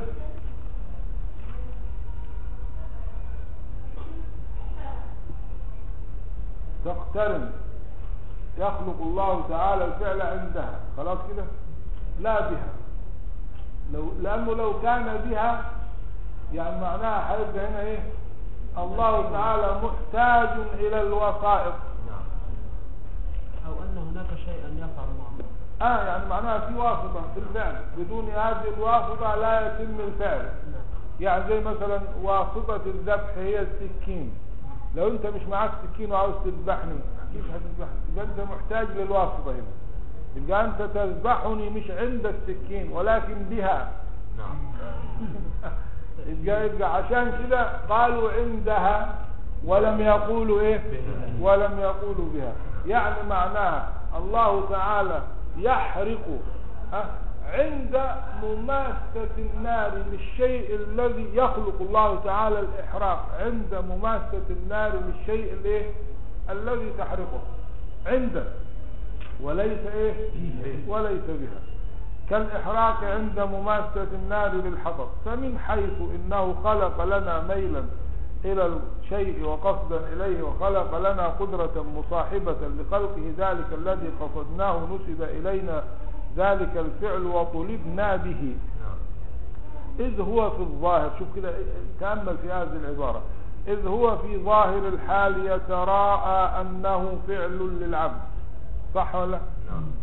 وإذا يعني هو بحيث الظاهر وبحيث الملاحظ وبحيث المشاهد ده فعله. وإذا أما المشكلة تأتي متى؟ إحنا قلنا لو نظرت لو ما فيش إشكال أبدا إذا نظرت إلى جهة العبد وحدها. ولا إشكال إذا نظرت إلى جهة الرب وحدها. وإنما الإشكال إذا نظرت إلى الجهتين معا. فإذا نظرت إلى دلائل التوحيد الله خالق كل شيء خلق حتوق إنه كل. وإذا نظرت إلى أن العبد مختار ومسؤول خلق. إنما إذا حبيت تربط الاثنين مع بعض هنا يأتي الإيه التحير ويأتي الإشكال. ولذلك الإيمان به واجب. ما هو ده من أركان الإيمان الإيه الستة. ولو أنت فهمته كده يبقى معناه الإيمان لازم يكون إيمان بشيء غيبي نعم. مش بشيء مفهوم ويبقى ده مش إيمان ده ده شهادة. لكن لا- لازم تؤمن بالشيء اللي هو إيه؟ لا يحيط به العقل. ولكن العقل لا ينفيه ولا يقول باستحالته يتحير فيه يعني يقف عنده. وذلك قالوا هذا من مواقف العقول. إذ هو في ظاهر الحال يتراءى أنه فعل للعبد. وإذا نظر إلى دليل التوحيد. سلم على الجماعة. عايزين حركة الغداء إن شاء الله. شوية كده إن شاء الله. الجاي إن شاء الله. شوية كده. شوية مع الانتقال إن شاء الله. أسبوع ثاني كده أنا كنت حركة لك الأسبوع اللي فات بس كان في شيخ هنا في حلوان قال لي الدكتور جمال. لا ما؟ رحنا نخليها مرة ثانية إن شاء الله. ماشي. ترتيب الجمعة إذا نظرت في ظاهر الحال إلى الظاهر أمامك ده فعل مين؟ العبد. نعم. وإذا نظرت إلى دليل التوحيد اللي قلناه. نعم. نفي الهموم الخمسة. نعم. قطع الناظر بأن الفعل ليس مخلوقا إلا لله تعالى وحده. ليه؟ لأنه لو قلت إن ال إن ال إذا أسندت إيجاد الفعل إلى الإنسان لزم الشريك مع الله. يعني كأنك جعلت خالقا ثانيا. نعم. جعلت إنه الفاعل خلق العبد لأفعال نفسه وخلق الله تعالى لما انت هنا أشركت مع الله في الخالقية يعني في الفعل. نعم. يبقى في كم من منفصل في الفعل؟ يبقى معنى في كم من منفصل؟ يبقى إحنا رجعنا إلى إثبات الشرك. نعم. طيب وإذا نفيناه عن العبد يبقى تصورنا الظلم في حق الله تعالى. يبقى إذا أثبتنا الفعل للعبد لزم الشريك وإذا نفيناه لزم الظلم في حق الله. يعني نظرت للعبد إن ده مش مش هو اللي فعله يبقى معناها إيه؟ ظلم. ما فعلتوش وتحاسبني عليه. طب وأنا مالي؟ وأنا أنا ما عملتش حاجة. بس يبقى هيبقى معناها إيه؟ ظالم. وما ربك بظلام للعبيد. طب وإذا جعلناه للعبد؟ افهم هنا. يعني هيلزم على نفيه عن العبد الشرك. آه، الظلم. نعم. وهيلزم على إثباته للعبد الشرك. الشرك مع الله. إحنا قلنا التوحيد في الايه؟ في الأفعال زي زي التوحيد في الذات والصفات. نعم. الله خالق وايه كل شيء. فعلم من فعلم أن هذا التعلق عبارة عن مقارنة القدرة الحادثة. يعني تقارن القدرة الحادثة. تقارن إيه؟ ما في مقارن وفي مقارن. نعم. هتقارن إيه؟ جاوبوا ما يبقى اشرح لمين؟ ها؟ خلق الله للشيء هتقارن الفعل مش في فعل يوجد عند هذه القدرة؟ قلنا عندها. نعم. نعم. يعني زي هت- هتقارن القدرة الحادثة الفعل الذي يوجد عندها. نعم. نعم. هتقارنه بس إيه؟ من غير تأثير نعم. بس شوف كده إذا وجدت هذه المقارنة مع نفي التأثير وهو اعتقاد أهل الحق فبحسب هذا الاقتران تضاف الأفعال إلى العبد. وإذا انتفى لا تضاف إلى العبد. نعم. هي وجه إضافة الأفعال إلى العباد اقتران قدرتهم الحادثة بها. نعم. نعم. ويترتب الثواب والعقاب. طب سؤال هنا هيترتب الثواب والعقاب على إيه؟ وأنا عملت حاجة؟ ما أنت قدرتك اقترن. مش كده زي ما قلنا أثبتنا الاقتران بس نفينا إيه؟ نفينا التأثير. يبقى ترتيب الثواب والعقاب على الاقتران والاقتران ما فيهوش فعل ما فيهوش تأثير. بمحض الفضل. فإن يثبنا وبمحض الفضل ويعذبنا بالعدل نعم. يبقى ده فضل وأن الفضل بيد الله يؤتيه من أراد أن يصيبك خلاص. تزعل لي ده هيصيبك هينعمك يبقى أن يصيبنا فبمحض الفضل. أو العدل. ويسمى العبد حينئذ يعني حين اقتران قدرته الحادثة بالفعل يعني شو عاوز أقول لك يعني زي كأنه إيه؟ خلق الله تعالى الفعل بدون تأثير منك أو بدو- بدون تأثير لقدرتك. وخلق قدرة مصاحبة للفعل حتى تتصور أن الفعل صادر منك. مش كده؟ خلق الله تعالى ونسب إليك قال ابن عطاء الله قال يعني من كرمه تعالى إنه هو الخالق وينسب إليك ده كرم منه يعني معناها زي من ذا الذي يقرض الله. هو مين اللي اداك المال؟ يبقى هو اللي يقول لك اقرضني والمال بتاعه عشان يتكرم عليك وعشان يديك الايه الثواب. نعم. فقال خلق الله تعالى ونسب إليك تفضلا. أراد يرفع إيه؟ منزلتك. واعلم أنه تعالى متى حرك لسانك بال- بالطلب فهو يريد أن يعطيك. يبقى لو هو مش عاوز يديك إيه اللي يخليه؟ هو اللي حرك لسانك هو اللي خلاك تدعي. يعني ده دليل الدعاء على إنه في إجابة لأنه لو أراد عدم الإعطاء لا يجعلك تدعو. وقال ربكم ادعوني أستجب. يعني جعل ده مربوط له ادعوني أستجب.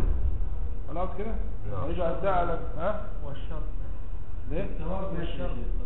عدل العدل عدل أنا ماليش قدره فين ماليش تاثير ما هو القدرة اللي وجدت فيك دي تمام كده؟ والتأثير قلنا إيه؟ منفي عنك. لكن ليس منفيا عنك الاختيار فأنت تراه وتشعر به من نفسك من غير أدلة. هذا أمر بديهي وعندك الميل وعندك القصد تمام؟ وبعضهم حل المشكلة قال إنه الميل والقصد ده مش فعل لأنه ده أعراض. تابعة للذوات نعم. وعشان كده ما نقولش خلق الميل وخلق إنما الفعل نقول خلق الفعل. اللي هو حدث بي- بيترتب على إيه؟ على اقتران القدرة ترتب على الميل. فكونك ملك أو اخترت أو قصدت يكفي هذا. يعني مثلا أنت إذا ملت إلى الشر أنا حخلق الشر عند هذا الميل عند عند تعلق إرادتك الحادثة به. نعم. حخلق لك الشر. وإذا تعلقت إرادتك الحادثة بالخير حخلق الخير كما قال تعالى أه قل من كان في الضلالة فليمدد وبعدين قال إيه؟ قال كلا نمد اللي في الخير وفي الشر عشان ما حدش يزعل وبعدين قال من آه، من أعطى واتقى وصدق فسنيسره والثاني فسنيسره بس بحسب الميل والاستعداد. استعدادات النفوس فلو عذبك أو عاقبك بحسب هذا الميل فهذا عدل. نعم. أنت لما ملت حققت لك ما أردت على على مستوى الإيه؟ الجهتين أو على الإيه؟ الأمرين وهديناه الإيه؟ النجدين. فالهمها فجورها وتقواها. يبقى في عدل. لا ينتفي العدل الإلهي والعدل الإلهي مطلق. لو أردت أن تفهمه بعقلك لا تستطيع. نعم. تتحير. ما تقدرش تفهم المسألة دي إلا في الآخرة. تفهمهاش في الدنيا. بس هو العقاب على الميل يا مولانا آه وعلى ما هو قلنا ما فيش فعل نعم. ويترتب الثواب والعقاب بمحض الفضل أو العدل. وحينئذ آه، يسمى العبد حينئذ مختارا. وعند خلق الله تعالى الفعل في العبد بلا قدرة له مقارنة. آه ما فيش قدرة يسمى مجبورا ومضطرا. يبقى أين هو؟ أه أين هو مناط الاختيار؟ أه ومناط عدم الاختيار؟ عند وجود القدرة الحادثة مع أنه ليس لها تأثير إنما فقط بس الإنسان ميل وقصد واختيار. نعم. شوف كده؟ انت بس والميل والقصد والاختيار خد بالك ده مش خلق عشان ما يعيدش سؤال ثاني وإنما هو بيسموه حال اللي لا خلق ولا يعني من لا, لا موجود ولا معدوم. نعم. لأنه الخلق لا يتعلق إلا بما هو موجود مش بما هو معدوم ده حال بس. يعني معناها إن الاستعدادات. نعم. يعني جعله الله مستعدا لهذا بدليل الاثنين. كما يسماش ده خلق. نعم. ولا هترجع المشكلة تاني نعم. وقد تفضل الله. كده؟ يبقى نقول ثاني يسمى العبد مختار عند إيه؟ ها؟ عند عند مقارنة. تلمش رجلك تمدش رجلك ها؟ درس اللي قلت هنا ما تمدش كده في احترام. عندما يوجد ال- القدرة الحادثة المقارنة الفعل بين الإنسان مختار. نعم. وعندما تنتفي القدرة الحادثة يبقى إيه؟ مجبور ومضطر. وقد تفضل الله تعالى علينا في هذه الحالة بإسقاط التكليف. عشان إحنا ما فيش قدرة حادثة ها؟ تمام كده؟ مع إنه أنا عاجز في الحالتين هو أنا يعني حتى عند وجود القدرة ما ليس لها تأثير. لكن عندما كانت القدرة ما شعرت إن أنا إيه آه ملاش تأثير أو إن أنا عاجز. ده أنا, ده أنا مغتر وساعات أنا أدعي إن أنا عملت من دون الله. ده, ده يا ريت الإنسان في هذه الحالة مع غبائه ومع جهله يعتقد إن قدرة الحادثة لها تأثير مع الله. ده ده يعتقد إن لها تأثير منفرد من غير الله. ده ده بيعتبر نفسه هو ال هو الايه هو الإله واكبر شوف كده أمال ليه الإنسان ادعى الألوهية؟ لا فرعون أو غيره مش ادعى الإنسان الالوهيه لظنه أن لهذه القدرة الحادثة تاثيرا. نعم نعم ما هو لو لو ظن مشترك هيبقى مشرك نعم. ولو ظن من هيبقى لا يعني في الحالتين هو إيه؟ خطأ. يعني سواء بالانفراد أو بالاستقلال. نعم. يبقى اذا عند آه، ما كانت هذه القدرة الحادثة غير موجودة م? يكون يكون الإنسان مجبور ومضطر وقد تفضل الله علينا في هذه الحالة بإسقاط التكليف ولو شاء لكلفنا عندها أيضا. فاكرين المسألة قلناها جواز التكليف بالمحال أو بما ما لا يطاق. نعم نعم. يبقى لو شاء لكلفنا. بدليل إيه؟ إحنا بندعو كده في آخر سورة البقرة. ربنا ها؟ لا يكلف الله ما لا الدعاء. ولا تكلفنا ما لا ولا لا. تحملنا ما لا. تحملنا ما لا طاقة. يعني معناها يجوز أن يحملنا لأنه لو كان مستحيلا لما كان يصح به الدعاء. نعم. ما دام إحنا ما ندعوه يعني نخافوها يا رب بدليل أنه حمل غيرنا. آه ذلك آه لما بني إسرائيل آه يعني حملهم الله من التكاليف ما لا يطيقون. والنبي صلى الله عليه وسلم رحمة للعالمين ووضع عنهم إصرهم والإيه؟ والأغلال التي والأغلال التي كانت عليهم. يبقى لو شاء الله لكلفنا في هذه الحالة أيضا والفرق بين الحركة الاختيارية والاضطرارية مما هو بديهي عند كل عاقل فبطل قول الجبرية بأنه لا قدرة تقارن فعلا له أصلا بل هو مجبور ظاهرا وباطنا. إحنا قلنا في الظاهر ما في الجبر نعم. لكن الجبرية قالوا في وإحنا قلنا الجبر مش في ال- مش في الفعل. الجبر في إيه؟ في الاختيار. الإنسان مختار في أفعاله وليس بمختار في إيه. في اختيار إحنا خالف خالف قولنا قول الجبرية من كل جهة. نعم. تمام كده؟ والجبر بتاع الجبرية جبر حسي. نعم. يعني بيان في قدرة العبد أصلا. إنما الجبر اللي بنقول إحنا بيه ده جبر عقلي. يعني لما نفهم المسألة بعقولنا نو- نوصل لكده إنما هل نشعر به أو نحس به من لا. أنفسنا؟ لا. قال الفرق الجبر الحسي هذا ليس بمح... ال- الجبر العقلي ها اللي هو لا ليس به ليس بمحظور نعم إنما المحظور. والكفر اللي هو الحسي نعم آه. آه، لأنهم قالوا إن الإنسان مجبور ظاهرا وباطنا كالخيط المعلق في الهواء تميله الرياح بلا اختيار الله وإحنا مش معقول أنت زي الخيط؟ معقول أنت تحس كده؟ وما فيش لك اختيار. مش كده وقول القدرية آه اللي هم مين؟ معتزلة. نعم. ولا- لماذا سموا قدرية؟ رغم إنه المفروض ما يسموش قدرية ده هم نفوا القدر. هم نفاة القدر. المفروض لا قدرية. المفروض لا قدرية نعم إنما لماذا نسبوا إلى القدر مع أنهم نفاة القدر؟ لأنهم نفوا القدر عن الايه عن الله وأثبتوه للعبد. فهم قدرية يعني أثبتوا القدر للعبد. نعم. عشان كده نسبوا المفروض أنت تقول إيه؟ ينسبوا إلى إيه؟ إلى نفي القدر مش إلى إثباته. وهم في جهتين في نفي وفي إثبات. في نفي عن مين؟ عن الله في إثبات العبد هم لما أثبتوه إلى أنفسهم نسبوا إليه. ويصح أيضا نسبتنا إحنا أهل السنة إن إحنا قدرية برضه. بس على أننا نثبته لله. يبقى إحنا قدرية بس بنثبت القدر لو هم قدرية لأنهم يثبتوه لإيه؟ لأنفسهم. ده والايه وقول القدرية بتأثير القدرة الحادثة. دي إحنا نفينا تأثير القدرة الحادثة. الشريك لأنه يلزم من إثبات تأثير القدرة الشرك أو إثبات الشريك في الأفعال. نعم. يلزم أمره نعم.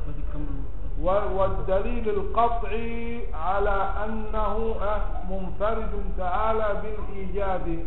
وتعالى لا خالق غيره. نعم. الله خالق كل شيء. وقول القدرية بتأثير القدرة الحادثة في الأفعال على ضد إرادة العبد. والجبرية كفار قطعا. الجبرية نسبة إلى الإيه؟ إلى الجبر. يعني نفي هي معنى الجبر, الجبر لا الجبر خد بالك. إحنا قلنا في حاجتين في قدرة حادثة وفي فعل. نعم.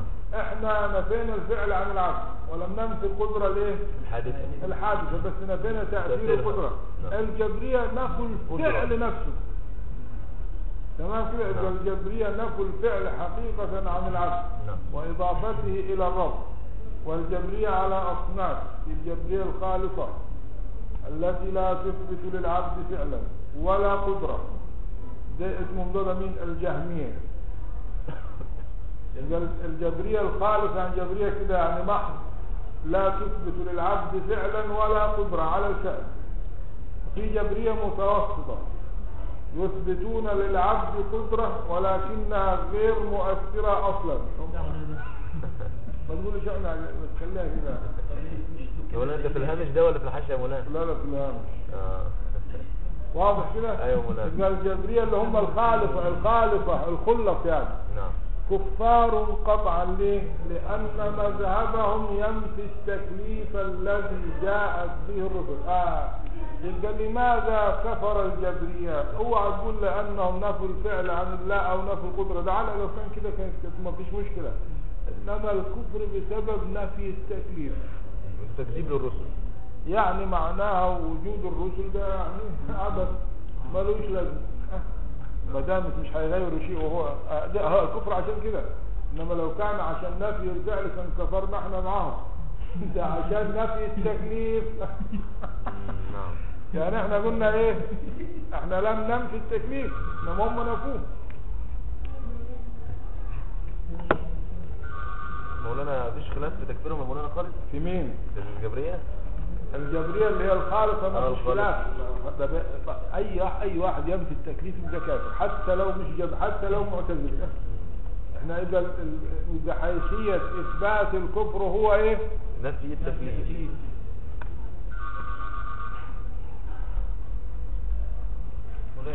والتكليف جاءت به الرسل والذي ينكر أن العباد مكلفون فهو كافر. كافر على طول. نعم. لماذا النبي صلى الله عليه وسلم يقول؟ القدرية مجوس هذه الأمة لكن لم يقل الجبرية مجوس نعم. آه المجوس هذه هم رغم ان الحديث فيه آه، بعض قال موضوع وبعض قال بيت الجب ال مش الجبرية القدرية مجوس هذه الأمة. لأنهم قالوا بأن الإنسان خالق مع الله يعني أثبتوا خالقين.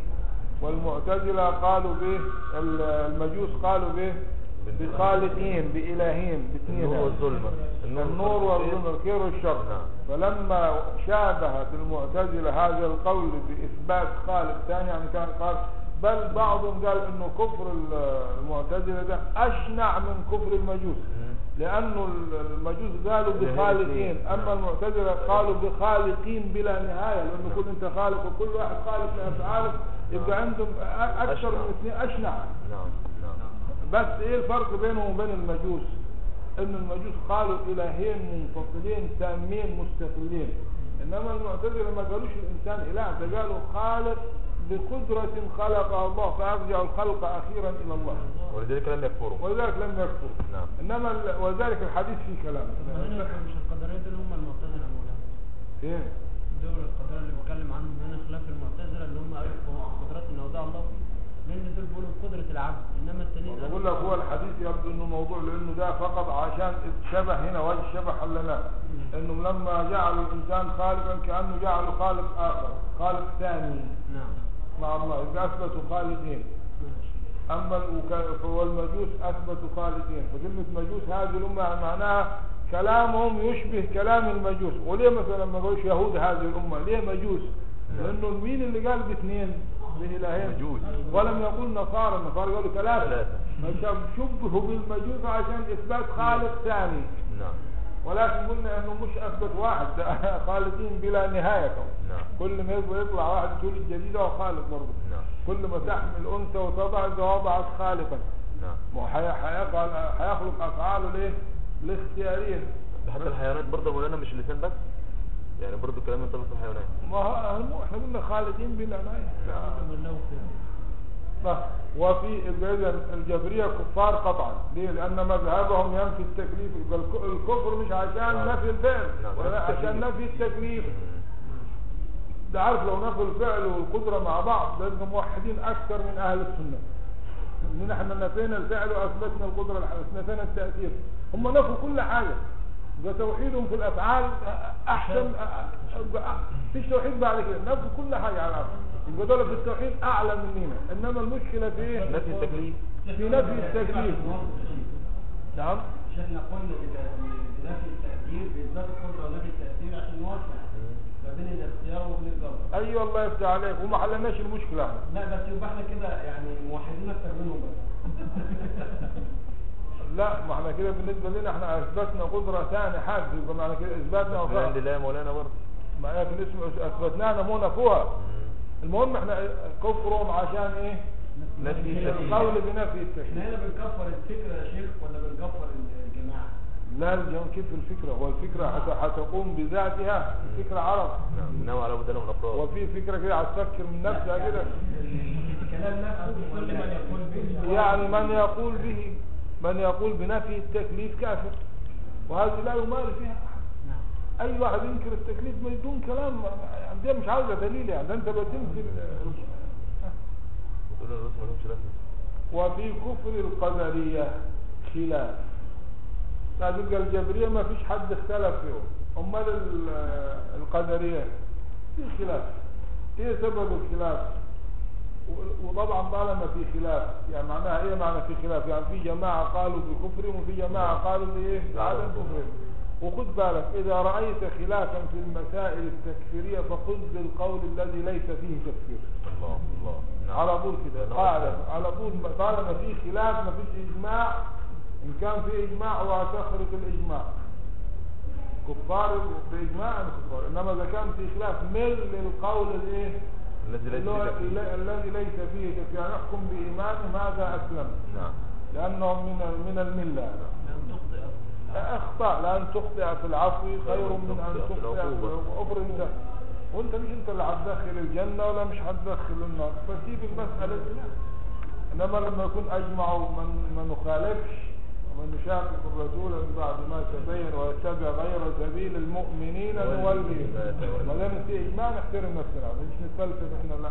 إنما في خلاف خلاص. هم هم شريك الشيء مين؟ ما هو عشان بس الشريك ده شريك من الباطن يعني مش شريك كده مستقل. آه لا مش شريك. يعني لو كان كده شريك بمعنى شريك كانوا كفروا. أقول ذلك لما ذكر أنواع الشرك ما فيهاش النوع, النوع ده. نعم. لم لم يجعلوهم في زمرة المشركين لإثباتهم أن الإنسان خالق لأفعال نفسه. لما تكلمنا عن الشرك فاكرين أيوة. كم نوع؟ شركة ستة أنواع. ستة. قلنا شرك التبعيض شرك الاستقلال شرك ال- ال- التقليد آه، شرك الأسباب آه شرك ال- تكلمنا لكن ليس فيهم إيه؟ هذا النوع مش مع لو كان كده كانوا عدوهم من المشركين. نعم. ست أنواع. شرك الاستقلال ده المجوس تمام؟ بعد كده شرك التبعيض والتركيب اللي هو شرك مين؟ النصارى. وبعد كده شرك الأسباب إلا المعلوم ثلاثة وبعد كده الفلاسفه والطبائعيين وبعد كده شرك مين تاني؟ دول ثلاثة. نعم. شرك التقليد. نعم. وبعد كده آه، شرك إيه تاني؟ شرك التقليد ما نعبدهم إلا ليقربونا إلى الله زلفى. يعني أنواع الشرك ستة. نعم. واحد الاستقلال. اثنين التبعيض. ثلاثة التقليد. أربعة التقريب. خمسة الأسباب. اللي هي البواعث يعني والنيات والأغراض. في نوع آه، نسيناه اللي هو شرك إيه؟ ال- تركيب المولان ما هو التركيب والتبعيض آه شرك التقليد والثاني آه اللي هو شرك التقليد والتقليد. المهم مش مشكلة. المهم إن هو شرك. شرك وخلاص. بس مش منهم إيه؟ مش منهم النوع ده اللي هو. نعم. لأن هم قالوا قدرة من عند الله برضه يا مولانا. آه نعم طبعا. بقول لك هو في كفر القدرية خلاف. الأصح الأصح عدم كفرهم. لأنهم وإن لزمهم إثبات الشريك لله تعالى إلا أنهم لما أثبتوا لله تعالى خلق العبد وقدرته وإرادته صار فعل العبد في الحقيقة مخلوقا لله تعالى. نعم. ليه؟ لأنهم مع أنهم أثبتوا للإنسان قدرة يخلق بها لكن هذه القدرة والعبد نفسه مخلوقان لله تعالى. وعلم أيضا أنه لا تأثير للأمور العادية في الأمور التي اقترنت بها. نعم. يعني قلنا في اقتران مش كده؟ نعم في اقتران نعم. وفي قدرة حادثة بالنسبة للعبادة نعم. ولا تأثير لها وإنما هو مجرد الاقتران وقلنا إنه مسألة الاختيار والتكليف شرحناها ووصلنا فيها إلى إنه العباد يفعلون أو يختارون ما يريده الله تعالى. يعني يفعلون بإرادتهم ومشيئتهم ما يريده الله. فمن فمن جهة فمن جهة أنهم يفعلون بإرادتهم واختيارهم فهم مختارون. ومن جهة أنهم لا يختارون إلا ما أراده الله فهم مجبورون. يبقى لا جبر ولا تفويض أو جبر وتفويض ولا يقدر على الجمع بينهما إلا الله سبحانه وتعالى. ونفينا الجبر لأنه يصطدم مع إرادة المكلف وهو يشعر بها. ونفينا التفويض لأن المفوض إليه لا يفعل إلا إيه؟ ما أراده المفوض سبحانه وتعالى. إذا نجمع بينهما وحل الم- المشكلة صعب جدا استعصى على إيه؟ العقول كلها وهي سر. فإذا رأيت مذهبا معقدا خفيا غامضا فهو الحق. إنما إذا رأيت آه، حل المسألة كده ببساطة يبقى هذا إيه آه، بعيد عن الحق. لذلك أقرب المذاهب فقلنا الأشاعرة ما حلوا المشكلة لكن أقرب المذاهب إلى الحق. لأنه في ثلاث مذاهب. يا إما تكون سعادتك جبري يا إما تكون معتزلي يا إما تكون أشعري. ما فيش غير كلام هتقول إيه غير كده؟ ولذلك كلام ابن تيمية وغيره اللي اعترضوا على كسب الأشعري في الحقيقة ما قالوا شيئا جديدا إلا كلام المعتزلة ولكنه بصورة أخرى. نعم. يعني ما خرجوا من هذا إلا إلى المعتزلة أو إلى الجبري. فما فيش حل. يا جبر يا اعتزال يا أش- يا أشعري. توسط. نعم. هو ده التوسط. مولانا هتروح فين؟ حضرتك قلت مين اللي جاب القول الجديد أو قول في قول الماتريدية بس مش مفهوم شوية الإرادة الجزئية والإرادة الجزئية لكن قريب من كلام الأشعري غير غير كلام؟ الجبري زي مولانا حضرتك كنت قلت لو لقيت واحد جاب قول سهل زي فلان؟ حضرتك قلت لو لقيت واحد جاب قول سهل زي فلان كده مين اللي كان جاب قول سهل هم لو رأيت لو رأيت ما هو كثير مش واحد لو رأيت واحد كده جعل المسألة في متناول العقول آه. وفهمتها فهذا إيه؟ بعيدا كل البعد. قدر الإيمان به واجب وسر الله فلا تكشوه نعم. قلنا فقط تقريب. نعم. الحل إيه؟ يعني كيف نجمع بين مسير بين تسير وبين تخير وبين تفويض وبين جبر لا يقدر عليها إلا الله. وإذا أردت أن تفهم المسألة من جهة العبد ما فيش أي مشكلة. على مستوى العبد وعلى مستوى الرب لا إشكال ولكن على الربط بين العلاقة بين القديم والحديث هنا تتحير العقول ويجب الوقف. وطبعا إحنا قلنا لك أنت تفعل ما تفعل بإرادتك وباختيارك ولكن هل تستطيع أن تفعل غير ما اختاره الله؟ إذا كده شوف جهة الاختيار واضحة وجهة الجبر العقلي مش الحسي واضحة. تمام كده؟ قلت لك كده الكلمة اللي قالها القرآني إبراهيم القرآني رغم إنه فيه مخالفة. الإنسان آه، مختار في أفعاله وليس بمختار في اختياره. هذيك أنت مخير إيه بين بين أمرين بين الفعل وبين الترك فهل تختار ألا تفعل الاثنين؟ لازم تختار. وحتختار إيه؟ الذي أراد ان أن تختاره. لأنه هو المهيمن وهو الخالق. أنت إيه؟ أنت مخلوق له. وأنت زعلان عشان يعني الجزئية دي إذا كان أنت ذاتك وأفعالك الاضطرارية مسلم 100% لأنها ليست لك. جيت على الجزء ده اللي هتنازع في ربنا ده. الحتة البسيطة اللي فيها دائرة التك... دائرة دائرة التك... دائرة ضيقة بالنسبة للإيه؟ للدوائر الثانية. فيعني اللي خلق الأوسع والأكبر لخلق السماوات أكبر من خلق الناس. نعم. هيجي في الحتة دي هتغلب أنت. يعني هيجي في دي هي- هيتركها لك. هو ترك ألا له الخلق والأمر. نعم. هيترك ليك ال- لكن أراد أن يمتحنك وأراد إيه أن يختبرك. وعلم أنه لا تأثير للأمور العادية في الأمور التي اقترنت بها. ولا تأثير للنار في الإحراق. ولا للطعام يبقى النار تحرق. لكن لا تأثير لها. يخلق الله الإحراق عندها. لا بها وإحنا وضحنا لكم الفرق بين عندها وبين. ولا للطعام في الشبع. ولا للماء في الريح ولا في إنبات الزرع ولا للكواكب في إنضاج الفواكه. والحديث معروف بتاع بايه ها؟ بنوع كذا وكذا ومطرنا بفضل الله ورحمته. مين المؤمن مؤمن به كافر بالكواكب وكافر به مؤمن بالايه؟ بالكواكب.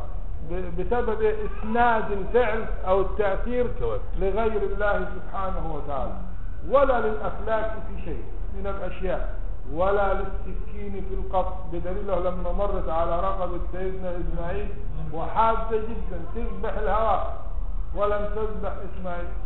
والسبب إنه إيه؟ لو كان الذبح في تلازم بينه وبين السكين كانت ذبحت. جميل الذبح حتى أنت لما تذبح بالسكين. إلى من يسند الذبح؟ إلى السكين ليس لها تأثير وليس لها قدرة. إنما الذي يمسك بها ويقال فلان ذبح فيسند الذبح إلى فاعله وليس إلى السكين التي تقطع بها. تفهم كده بالنسبة لقدرة الله تعالى. لا ينسب إلى ال- اعتبر الإنسان زي الآلة. هل يسند ال- الذبح إلى السكين أم إلى الذي يمسك السكين ويذبح بها؟ فكذلك لا تسند الإحراق إلى النار. إحنا بس ممكن نقوله عادي بس إحنا نتكلم في المسألة لا اعتقادية. برب واحد يقول لك ده النار لا لا النار تحرق والطعام بس بحسب انه أسباب ومسببات عادية. نعم. لكن بحسب التأثير إحنا بنتكلم على المسألة الاعتقادية اللي هي التأثير. نعم. أما القول والإسناد في مجاز وفي حقيقة ولا إشكال في ذلك. نعم نعم. يجوز إطلاقه لأن الشرع أذن فيه بأدلة كثيرة موجودة في الكتاب والسنة. ال ال الذي نعالجه ونريد أن نبينه هو الاعتقاد. أن هذه الأمور لا تأثير لها. نعم. ولا للسكين في القطع ولا لشيء في دفع حر أو برد أو جلبهما وغير ذلك لا بالطبع ولا بالعلة ولا بقوة أودعها الله. آه دي هتفسر لك مشكلة. كيف ولا بقوة أودعها الله؟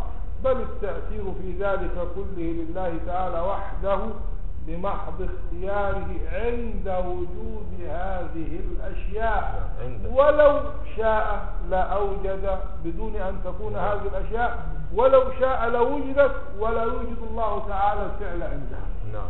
تبقى مس- مسألة ربط عادي نظم قوانين وضعها الله تعالى. فكيف تكون حاكمة؟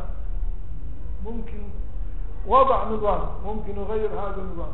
ويخرق هذا النظام ويلغي هذا النظام كما حدث ليه للمعجزات للأنبياء والمرسلين. ولو كانت هذه النظم وهذه القوانين لا تتغير لأدى ذلك إلى القول بإنكار أو نفي المعجزات. نعم. لو الربط عقلي. لو الربط عقلي نعم. هيؤدي إلى نفي الايه المعجزة.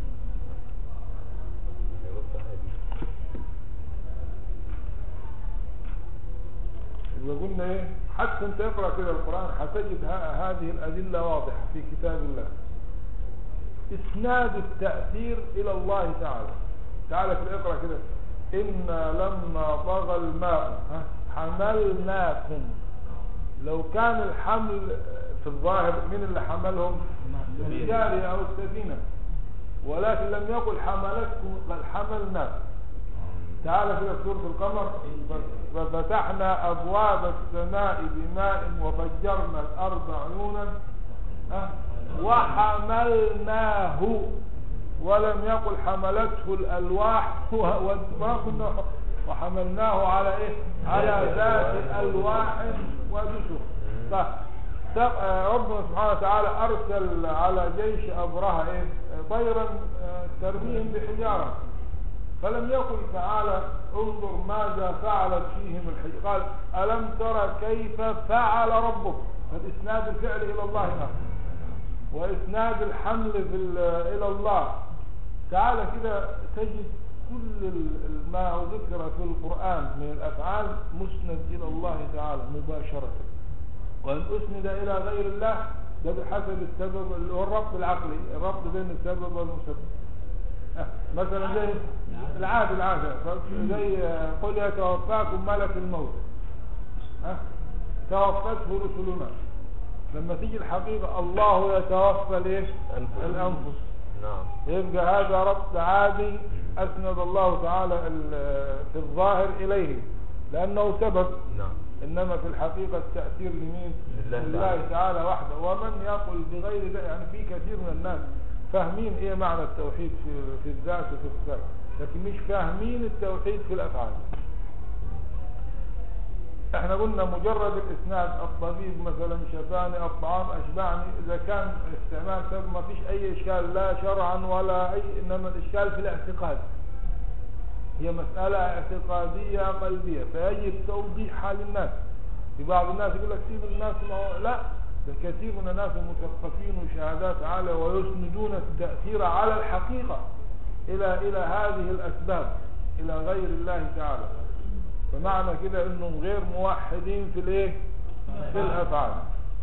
ومن يقل من الفلاسفة من أهل الضلال كالفلاسفة. طبعا الفلاسفة طبقات مش كلهم يعني الفلاسفة الأمة قالوا بهذا القول إنه في فلاسفة الإسلام طبعا دافعوا يعني درسوا الفلسفة وفهموها زي الامام الغزالي وفي ابن رشد وغيره فما تعممش.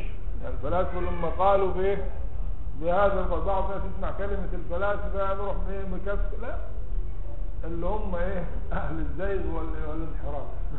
بالطبع أي بتأثير الطبع أي بالطبيعة والحقيقة بأن يقول أه؟ إن الأشياء المذكورة تؤثر بطبعها أو يقول بالعلة.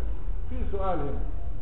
ما الفرق بين التأثير بالطبع وبين التأثير بالعلة؟ طبعا كلا القولين للفلاسفة لأنه في الطبائعيين والفلاح إلى غيره. يبقى تأثيرها بالعلة بأن يقول يعني بعض الأشياء علة أي سبب في وجود شيء من غير أن يكون لله تعالى فيه اختيار. يعني في ربط عقلي بين السبب وبين المسبب. يعني إذا وجد السبب وجد الايه المسبب. دون اختيار أو دخل لله تعالى. أهو معنى العلة. نعم. يبقى يجعل بين الأسباب ومسبباتها ربطا عقليا. نعم. بمعنى أنه إذا وجد هذا يوجد هذا كالعلة والمعلول. إذا تحركت اليد وفيها ساعة تحركت الساعة. ولا يمكن أن تتحرك اليد دون أن ت- ده- يبقى في علة لحركة اللي هي حركة اليد ولا بد من الترابط التلازم العقلي بين العلة والمعلول. نعم. من غير توقف على شرط؟ من غير توقف على. شرط ولا انتفاع مانع ده اسمه إيه؟ علة ومعلول. ما ده هيؤدي يعني. يبقى ده ده عرفنا معنى التأثير بالعلة؟ نعم. يعني اعتقاد انه بعض الأشياء علة أي سبب في وجود شيء من غير أن يكون لله تعالى فيه اختيار. والفرق بين تأثير الطبع وتأثير العلة وإن اشترك في عدم الاختيار. يعني خد بالك الطبع والمطبوع والعلة والمعلول الاثنين ما فيش اختيار لأنه لا اختيار في بين العلة ومعلولها والطبيعة ومطبوعها نعم. وشرحنا كلمة الطبيعة فاكرين؟ قلنا الطبيعة على وزن إيه؟ فعيل فعيلة. إما أن تكون فاعلة إما أن تكون إيه؟ مفعولة. المشكلة أن هنا تكون فاعلة يعني مؤثرة. نعم. أما إذا كانت مطبوعة خلاص انتهينا من- لأنه فعيل يأتي في اللغة بمعنى فاعل ويأتي بمعنى مفعول. زي مثلا فعيل زي سميع سامع رحيم راحم قتيل بمعنى مقتول ده يأتي بالإثنين. ونبي أصلها نبي ده في الاثنين ده. يعني هنا نبي على وزن فعيل بمعنى فاعل وبمعنى مفعول. يعني بمعنى مخبر وبمعنى مخبر. نعم. ممكن الاثنين فيهم يعني ممكن يجتمع فيه الاثنان. وممكن يكون بمعنى فاعل ويكون بمعنى. هنا الطبيعة بمعنى فاعلة ومؤثرة يبقى من يقول بال- بالطبع فهمنا, فهمنا معنى العلة. نعم نعم. طيب إيه الفرق بين تأثير الطبع وتأثير العلة؟ ان اشترك في عدم الاختيار. ان يبقى شوف خد بالك التأثير بالعلة ما فيهوش اختيار. نعم. ولذلك كفر كفر الإمام الغزالي الفلاسفة عشان النقطة دي نعم. كفرهم في ثلاثة. نعم. وبدعهم أو فسقهم في مسائل 17 مسألة. يبقى العلة يعني لو كان الله علة لوجود العالم علة ومعلومة معناها غير مختار. يبقى لم يوجد العالم باختيار ما فيش اختيار بين حركة اليد يبقى العلة والمعلول يعني ينفع عن الله تعالى الاختيار. نعم. مع أنه قال تعالى وربك يخلق ما يشاء ويختار. بس الطبيعة والمطبوع. برضه الطبيعة ما فيهاش إيه؟ ما اختيار. فيهاش اختيار.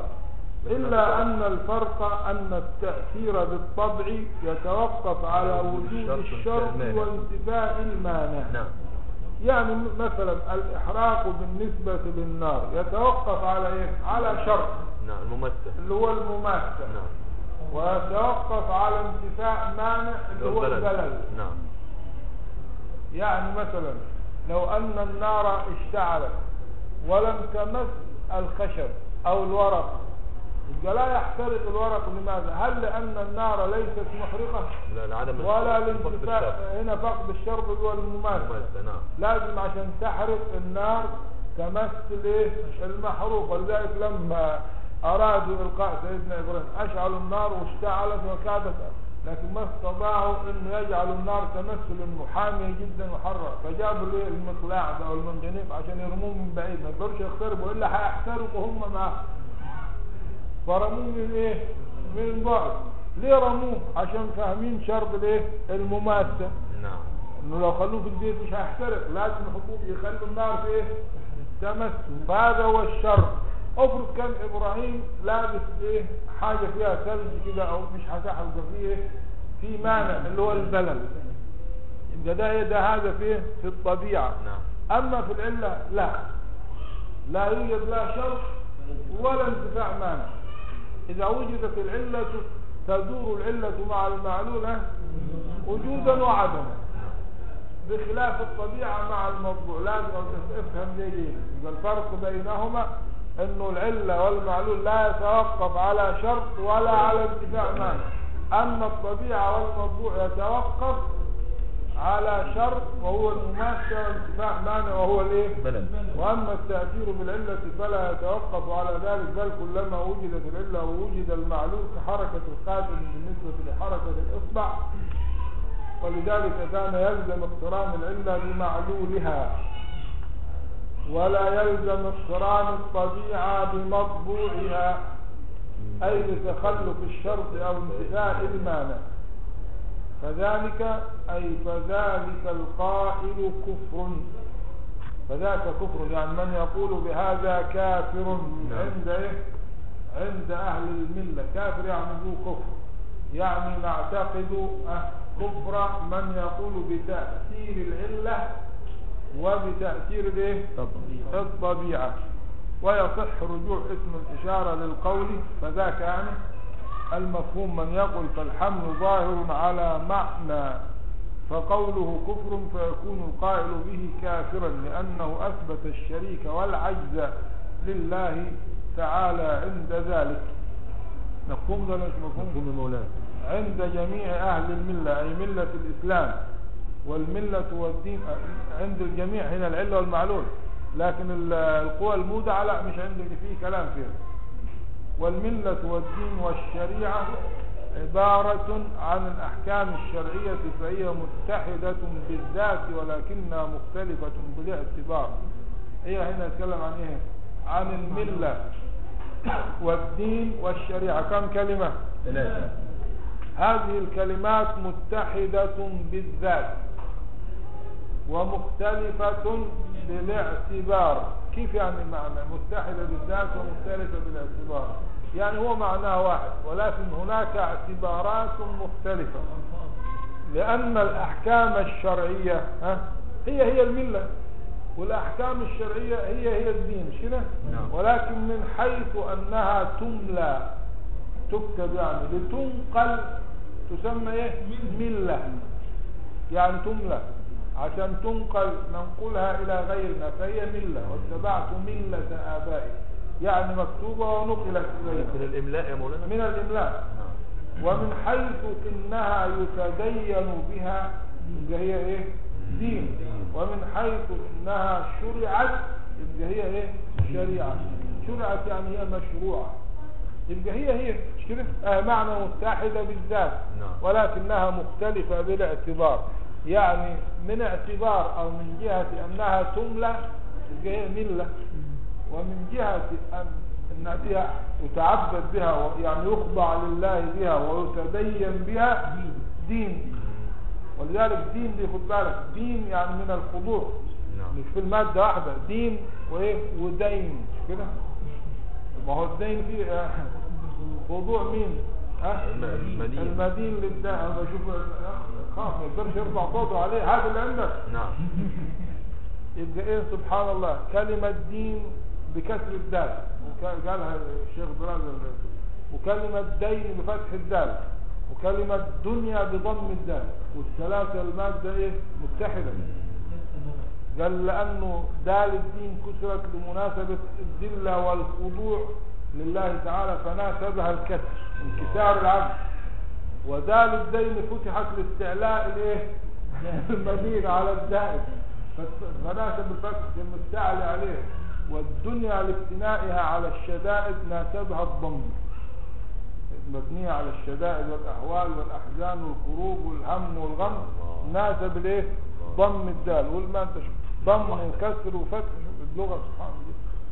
لغة بديعة مولانا. واعلم أن الفلاسفة أن الفلاسفة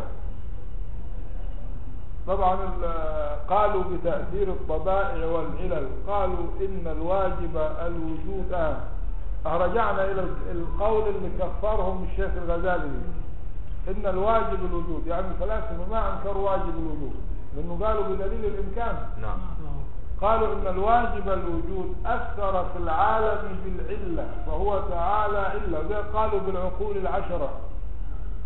يعني صدر عنه العقل الأول والعقل الأول صدر عنه الثاني إلى القول إيه؟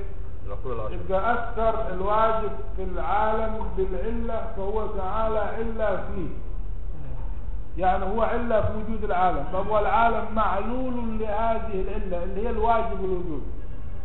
قالوا إن العالم قديم. آه لأنه يلزم مش قلنا في تلازم بين العلة والمعلول. نعم. وتلازم لا ينفك. فقالوا إن العالم قديم لأنه يلزم من قدم العلة قدم المعلول. فلما قالوا بهذا التلازم هذا يؤدي إلى شيء خطير وهو نفي الاختيار عن الواجب. يعني معناها الله تعالى علة في وجود العالم والعالم معلول عنه وهناك تلازم بينهما فالعالم قديم بقدم علته. معنى هذا أن الله تعالى فاعل بالإيجاب. نعم فاعل بالإجابة وليس بمختار في الخلق. نعم. كما أنه ما فيش اختيار بين العلة وبين المعدة في تلازم. وهذا القول كفر. نعم. وده واضح. نعم. وعدم الآن. يبقى أثبتوا لله حاجتين. أثبتوا له عدم الاختيار وعدم القدرة. كده؟ ما دام ما دامت في تلازم بين العلة والمعلول يعني عاجز تعالى ألا إيه؟ في تلازم. يعني معناها يعني لابد أن مجموع مثلا آه، ع- عجز يؤدي إلى نفي القدرة. ولا شك في كفرهم عند المسلمين. والحاصل أن ال- آه، خد بالك جميل هنا. والحاصل أن الفاعل بحسب الفرض يعني لما نفترض الفاعل ده إحنا لسه في توحيد الأفعال خلي بالك ما خرجناش. نعم. والحاصل أن الفاعل بحسب الفرض والتقدير ثلاثة. يعني لو فرضنا وحبينا نعمل حصر هنلقاهم ثلاثة. فاعل بالطبع؟ نعم. وفاعل بالعلة وفاعل بالاختيار. وهو الذي إن شاء إيه معنى فاعل بالاختيار؟ إن شاء فعل وإن شاء ها؟ ترك. وكلها قال بها الفلاسفة. والثالث كل الثلاثة واحد حي- حي- حي- حيتحير. يقول أنت الفلاسفة يقول نفوا الاختيار ويقول الفاعل بالطبع والفاعل بالايه بالعلة والفاعل بالاختيار. والفلاسفة قالوا بالثلاثة. بس من جهلهم وحماقتهم؟ جعلوا الإنسان هو الفاعل بالاختيار. ونفوا الاختيار عن الله تعالى. ما هو ما هو الفلاسفة معتزلة والمعتزله فلاسفة.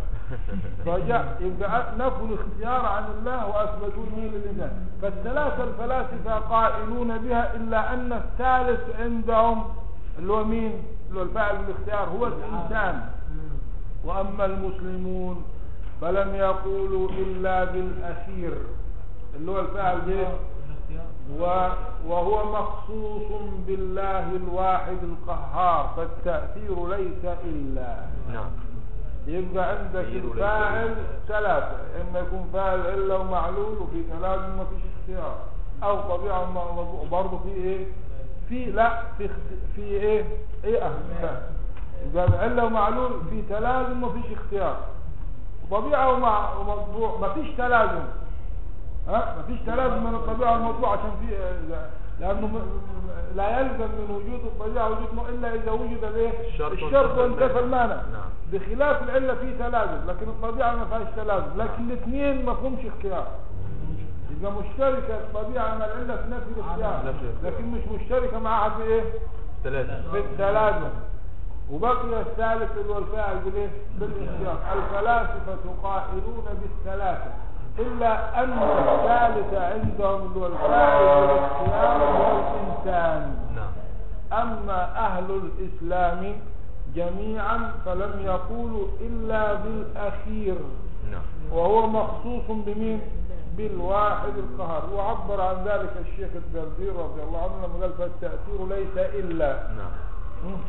إحنا حضرتك دلوقتي لو كل 10 لو كل عشرة سيبوها في درس ثاني كده إحنا نعم. عقلنا أيوة، عقل خليها واحد. لسه ما كملناهوش خليها مولانا. خليها في الدرس الثاني نشرحها لكم عشان تفهموا الفلاسفة جوابها مولانا بيقول هنا وأما المسلمون يكن- المسلمون نعم ولم يكن أهل السنة يعني ليشمل فلسفة الإسلام. أي طبعا ما إحنا قلنا إحنا قلنا الفلاسفة دول يعني زي زي مثلا إيه؟ تيار طوائف. نعم. تمام؟ نعم والثالث عندهم وأما المفلأة ومن يقل من أهل الزيغ إن هذه الأمور العادية تؤثر بالقوة المودعة أي بواسطة قوة أودعها الله تعالى فيها. كما القول ده زي ما إحنا قلنا الكلام المعتزل إن العبد يؤثر بقدرته الحادثة. قلنا قلنا الثلاث مذاهب فاكرين نعم. الجبرية والمعتزلة والأشاعرة. نعم. المعتزلة جعلوا التأثير للقدرة الحادثة. نعم. وأهل السنة جعلوا أثبتوا القدرة الحادثة ونفوا التأثير والجبرية نفوا القدرة نفسها. نعم. الجبرية نفوا القدرة عن وبالتالي إذا كان ما فيش قدرة يبقى في تأثير. الجبرية نفوا القدرة وبالتالي يبقى نفوا إيه؟ التأثير. والمعتزلة أثبتوا القدرة الحادثة وأثبتوا التأثير. وأهل السنة أثبتوا القدرة ونفوا الإيه التأثير. بدليل قالوا باقتران ال- ال- القدرة الحادثة عند وجود الفعل. فمعنى كده إثبات لوجود القدرة الإيه؟ الحادثة وليس إيه؟ نفيا. كما أن العبد يؤثر بقدرته الحادثة التي خلقها الله تعالى فالنار تؤثر يعني تؤثر يعني إيه؟ تؤثر الإحراق. نعم. والطعام يؤثر يعني يؤثر الشبع. نعم. والماء يعني يؤثر يعني إيه؟ الريح. خلقها الله تعالى فيها. وكذلك قس على كده كل الأشياء. وجد فيها أمثلة. مش فقط النار والطعام والماء. والدواء برضه. يؤثر الشفاء. مش كده؟ نعم. يبقى التأثير معناها في جميع الأسباب وما هذه إلا أمثلة. فلا تقف عندها. وكذلك الباقي يعني باقي الايه الأسباب والمسببات فذلك القائل يعني القائل بتأثير القوة المودعة. ها؟ بدعي يعني معناها منسوب إلى البدعة يعني مبتدع. نعم. أهو الآن علمناكم بدل ما تقولوا مبتدعة قولوا إيه؟ بدعية. آه نسبة خلاف للسنة أو خلاف السنة البدعة خلاف السنة. نعم. لأنه مين ده لا بالقوة المودعة. يعني يقول لك اللي هي القدرة الحادثة يعني ما هي القدرة الحادثة؟ نعم. خلاف السنة لأنه لم يتمسك بسنة السلف الصالح التي أخذوها عن النبي صلى الله عليه وسلم وليس بكافر على الصحيح كما تقدم. وإذا كان بدعيا فلا تلتفت أي لقوله بل يجب الإعراض عنه والتمسك بقول أهل السنة من أنه لا تأثير لما سوى الله تعالى أصلا يبقى خد بالك لما قال بدعي يعني نسبه إلى إيه؟ ها؟ البدعة. والبدعة معناها إيه؟ عارفين معناها طريقة في الدين ما هي خلاف بس معناها طريقة في الدين مش في الدنيا نعم يعني إحنا الآن المفروض نعمل إيه آه في أمور الدين نكون إيه متبعون لا مبتدعون. وفي أمور الدنيا المفروض نكون إيه؟ مبتدئين مبتدعين لا مقلدين ولا إنما عكسنا في أمور الدنيا نحن إيه؟ فيها مقلدون. عمي كده أي حاجة من بره من الخارج عقدة الإيه؟ الخوارج وفي أمور الدين التي يجب فيها الاتباع نبتدع. وفي أمور الدنيا التي يجب فيها أنه يعني ننتج ونبدع. آه، ننتج ونبدع ونستقل بأنفسنا. نحن في أمور الدنيا ها؟ في أمور الدنيا مقلدين يعني متبعين لا مبتدعين والعكس في إيه؟ في أمور الدين. مدى يبقى البدعة. طريقة طريقة في الدين مخترع مخترعة تضاهي الشريعة. نعم. يقصد به بالسلوك عليها المبالغة في التعبد. وفي بعضهم ده تعريف مين الإمام الشاطبي؟ وفي بعضهم جعلها إيه؟ على خمسة أقسام اللي هي البدع. نعم. واجبة ومحرمة ومندوبة ومكروهة ومباحة. لكن خد بالك مم، قول عز بن عبد الانقراض السلام الانقراض ولكن خد بالك إنه آه، ليس كل ما أحدث مما لم يكن في عهد السلف والصحابة إيه؟ بدعة. لقول الإمام الشافعي يقول إيه آه، كل ما له مستند مستند في الكتاب والسنة فليس ببدعة وإن لم يفعله السلف. نعم. هذا قول الإمام الشافعي. كل ما له مستند يعني ليه دليل ليه أصل؟ فليس ببدعة وإن لم يفعله السلف. لأنه الايه الح- الأمر إيه مأمورين إحنا بالإيه بال- بأنه نأتي بشيء يعني يعني ما, ما له أصل وما استنبطناه وهي معنى اجتهاد العلماء. إذا نفينا هذا. يبقى الذي يقول بهذا بتأثير القوة الم- المودعة فهو هذه البدع التي يجب محاربتها. مم. هذا القول نعم وال- والغريب أن الذين يتكلمون في البدع وفي خطرها على المجتمع في البدع اللي هي في الأمور المشروعة وفي الأحكام وفي المساجد وفي القبور وفي التوسل ويتهمون الناس واقعون في هذه البدع الاعتقادية. لأنهم يقولون بهذا القول يقولون باختيار أه؟ واقعون فيها. نعم. ويقولون بها. نعم. وكلام فيها كلام المعتزلة. وقال وهذا خلاف لأحمد يعني أنا ما رأيت أحدا من الذي يتكلم في البدع ويصنف فيها إلا وهو واقع فيما هو أخطر من البدع التي يحاربها وهي البدع الاعتقادية. نعم. عارف البدع الثانية؟ سهلة الفاسق على قسمين المت- المتأول وغير المتأول. يعني معناها في فاسق جارح اللي الذنوب والمخالفات وفي فاسق عقيل اللي هو الفاسق المبتدع. نعم. تمام؟ ده- أخطر من الثاني. ان الامر متعلق بالايه. فمحاربتهم للبدع العادات وبدع الأفراح وبدع المآتم والجنائز وإلى آخره. ليس هذا بأخطر أو بأشد من هذه الإيه؟ الأمور لأنه دي دي تتعلق بالإيه؟ بالتوحيد. إنما دي الثانية أخرى تتعلق بالأعمال. يعني بالأفعال. وإذا كان بدعيا فلا تلتفت أي لقول بل يجب الإعراض عنه والتمسك بقول أهل السنة من أنه لا تأثير لما سوى الله تعالى أصلا لا بطبع ولا بعلة ولا بواسطة قوة أودعت فيها وإنما التأثير لله تعالى وحده بمحض اختياره. فإن قلت إن بعض أهل السنة إذا نقف عند إيه؟ الكلام اللي أنت سألت عنه بتاع إيه؟ آه أول ما سألت بتاع اللي هو رجحوا اللي في الإمام الغزالي والسبكي وإمام الحرمين ونقلوا السيوطي هيتكلم عنه ولكن هنرجح إنه قوله ليس قول الإيه؟ المعتزلة. يعني بعيد عن قول المعتزلة وفي نفس الوقت مخالف لقول الجمهور ولكنه ليس عين أو ليس يشبه قول الإيه؟ المعتزلة في شيء. وإن شاء الله نشوف موضوع الفلاسفة في العقول العشرة. ان شاء الله يا مولانا. وصلى الله على سيدنا محمد وعلى آله وأصحابه. آه. الذين يقولون بالقوة المدعى مدان هل يجعلون عقلي هل يلزمهم؟ آه، الذين إيه؟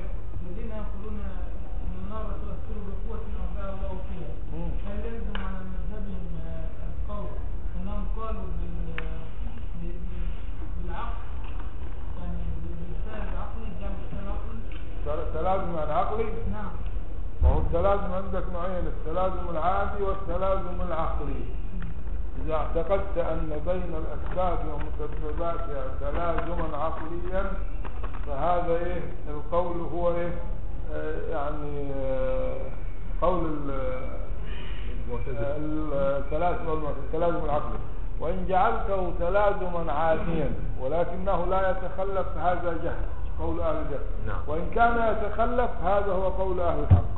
يعني في بعض الناس يعتقد انه تلازم عادي لكن ما يتخلفش معناه كأنه إيه؟ تلازم عقلي فهذا سبب عدم التفرقة بين التلازم العادي وبين التلازم العقلي بين المستحيل العادي والمستحيل ال- وهو جهل سبب الجهل. نعم. إنما اللي جعله ورتب عليه هذا الكلام اللي هو اللي الذي يجب محاربته وتوضيح امره نعم. الله. آه. يعني الذين يقولون بال- بالقوة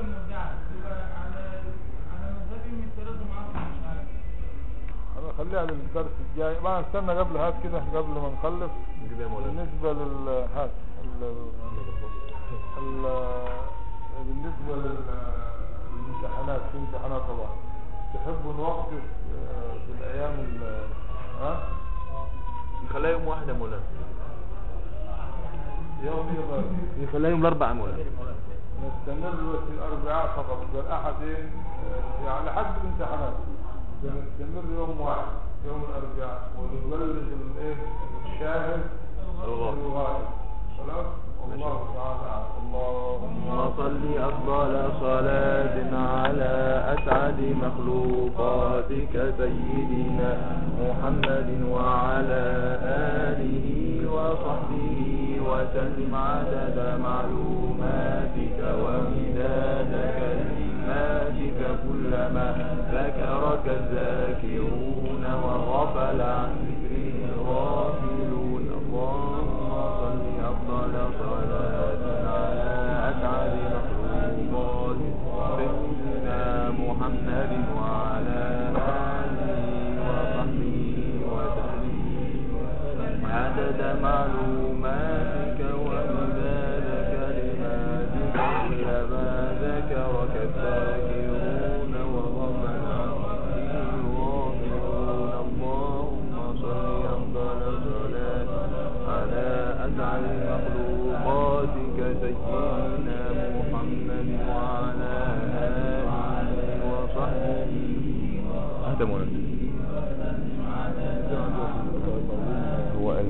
يا مولانا اللي هي ال طب هي فين يا مولانا مش موجودة؟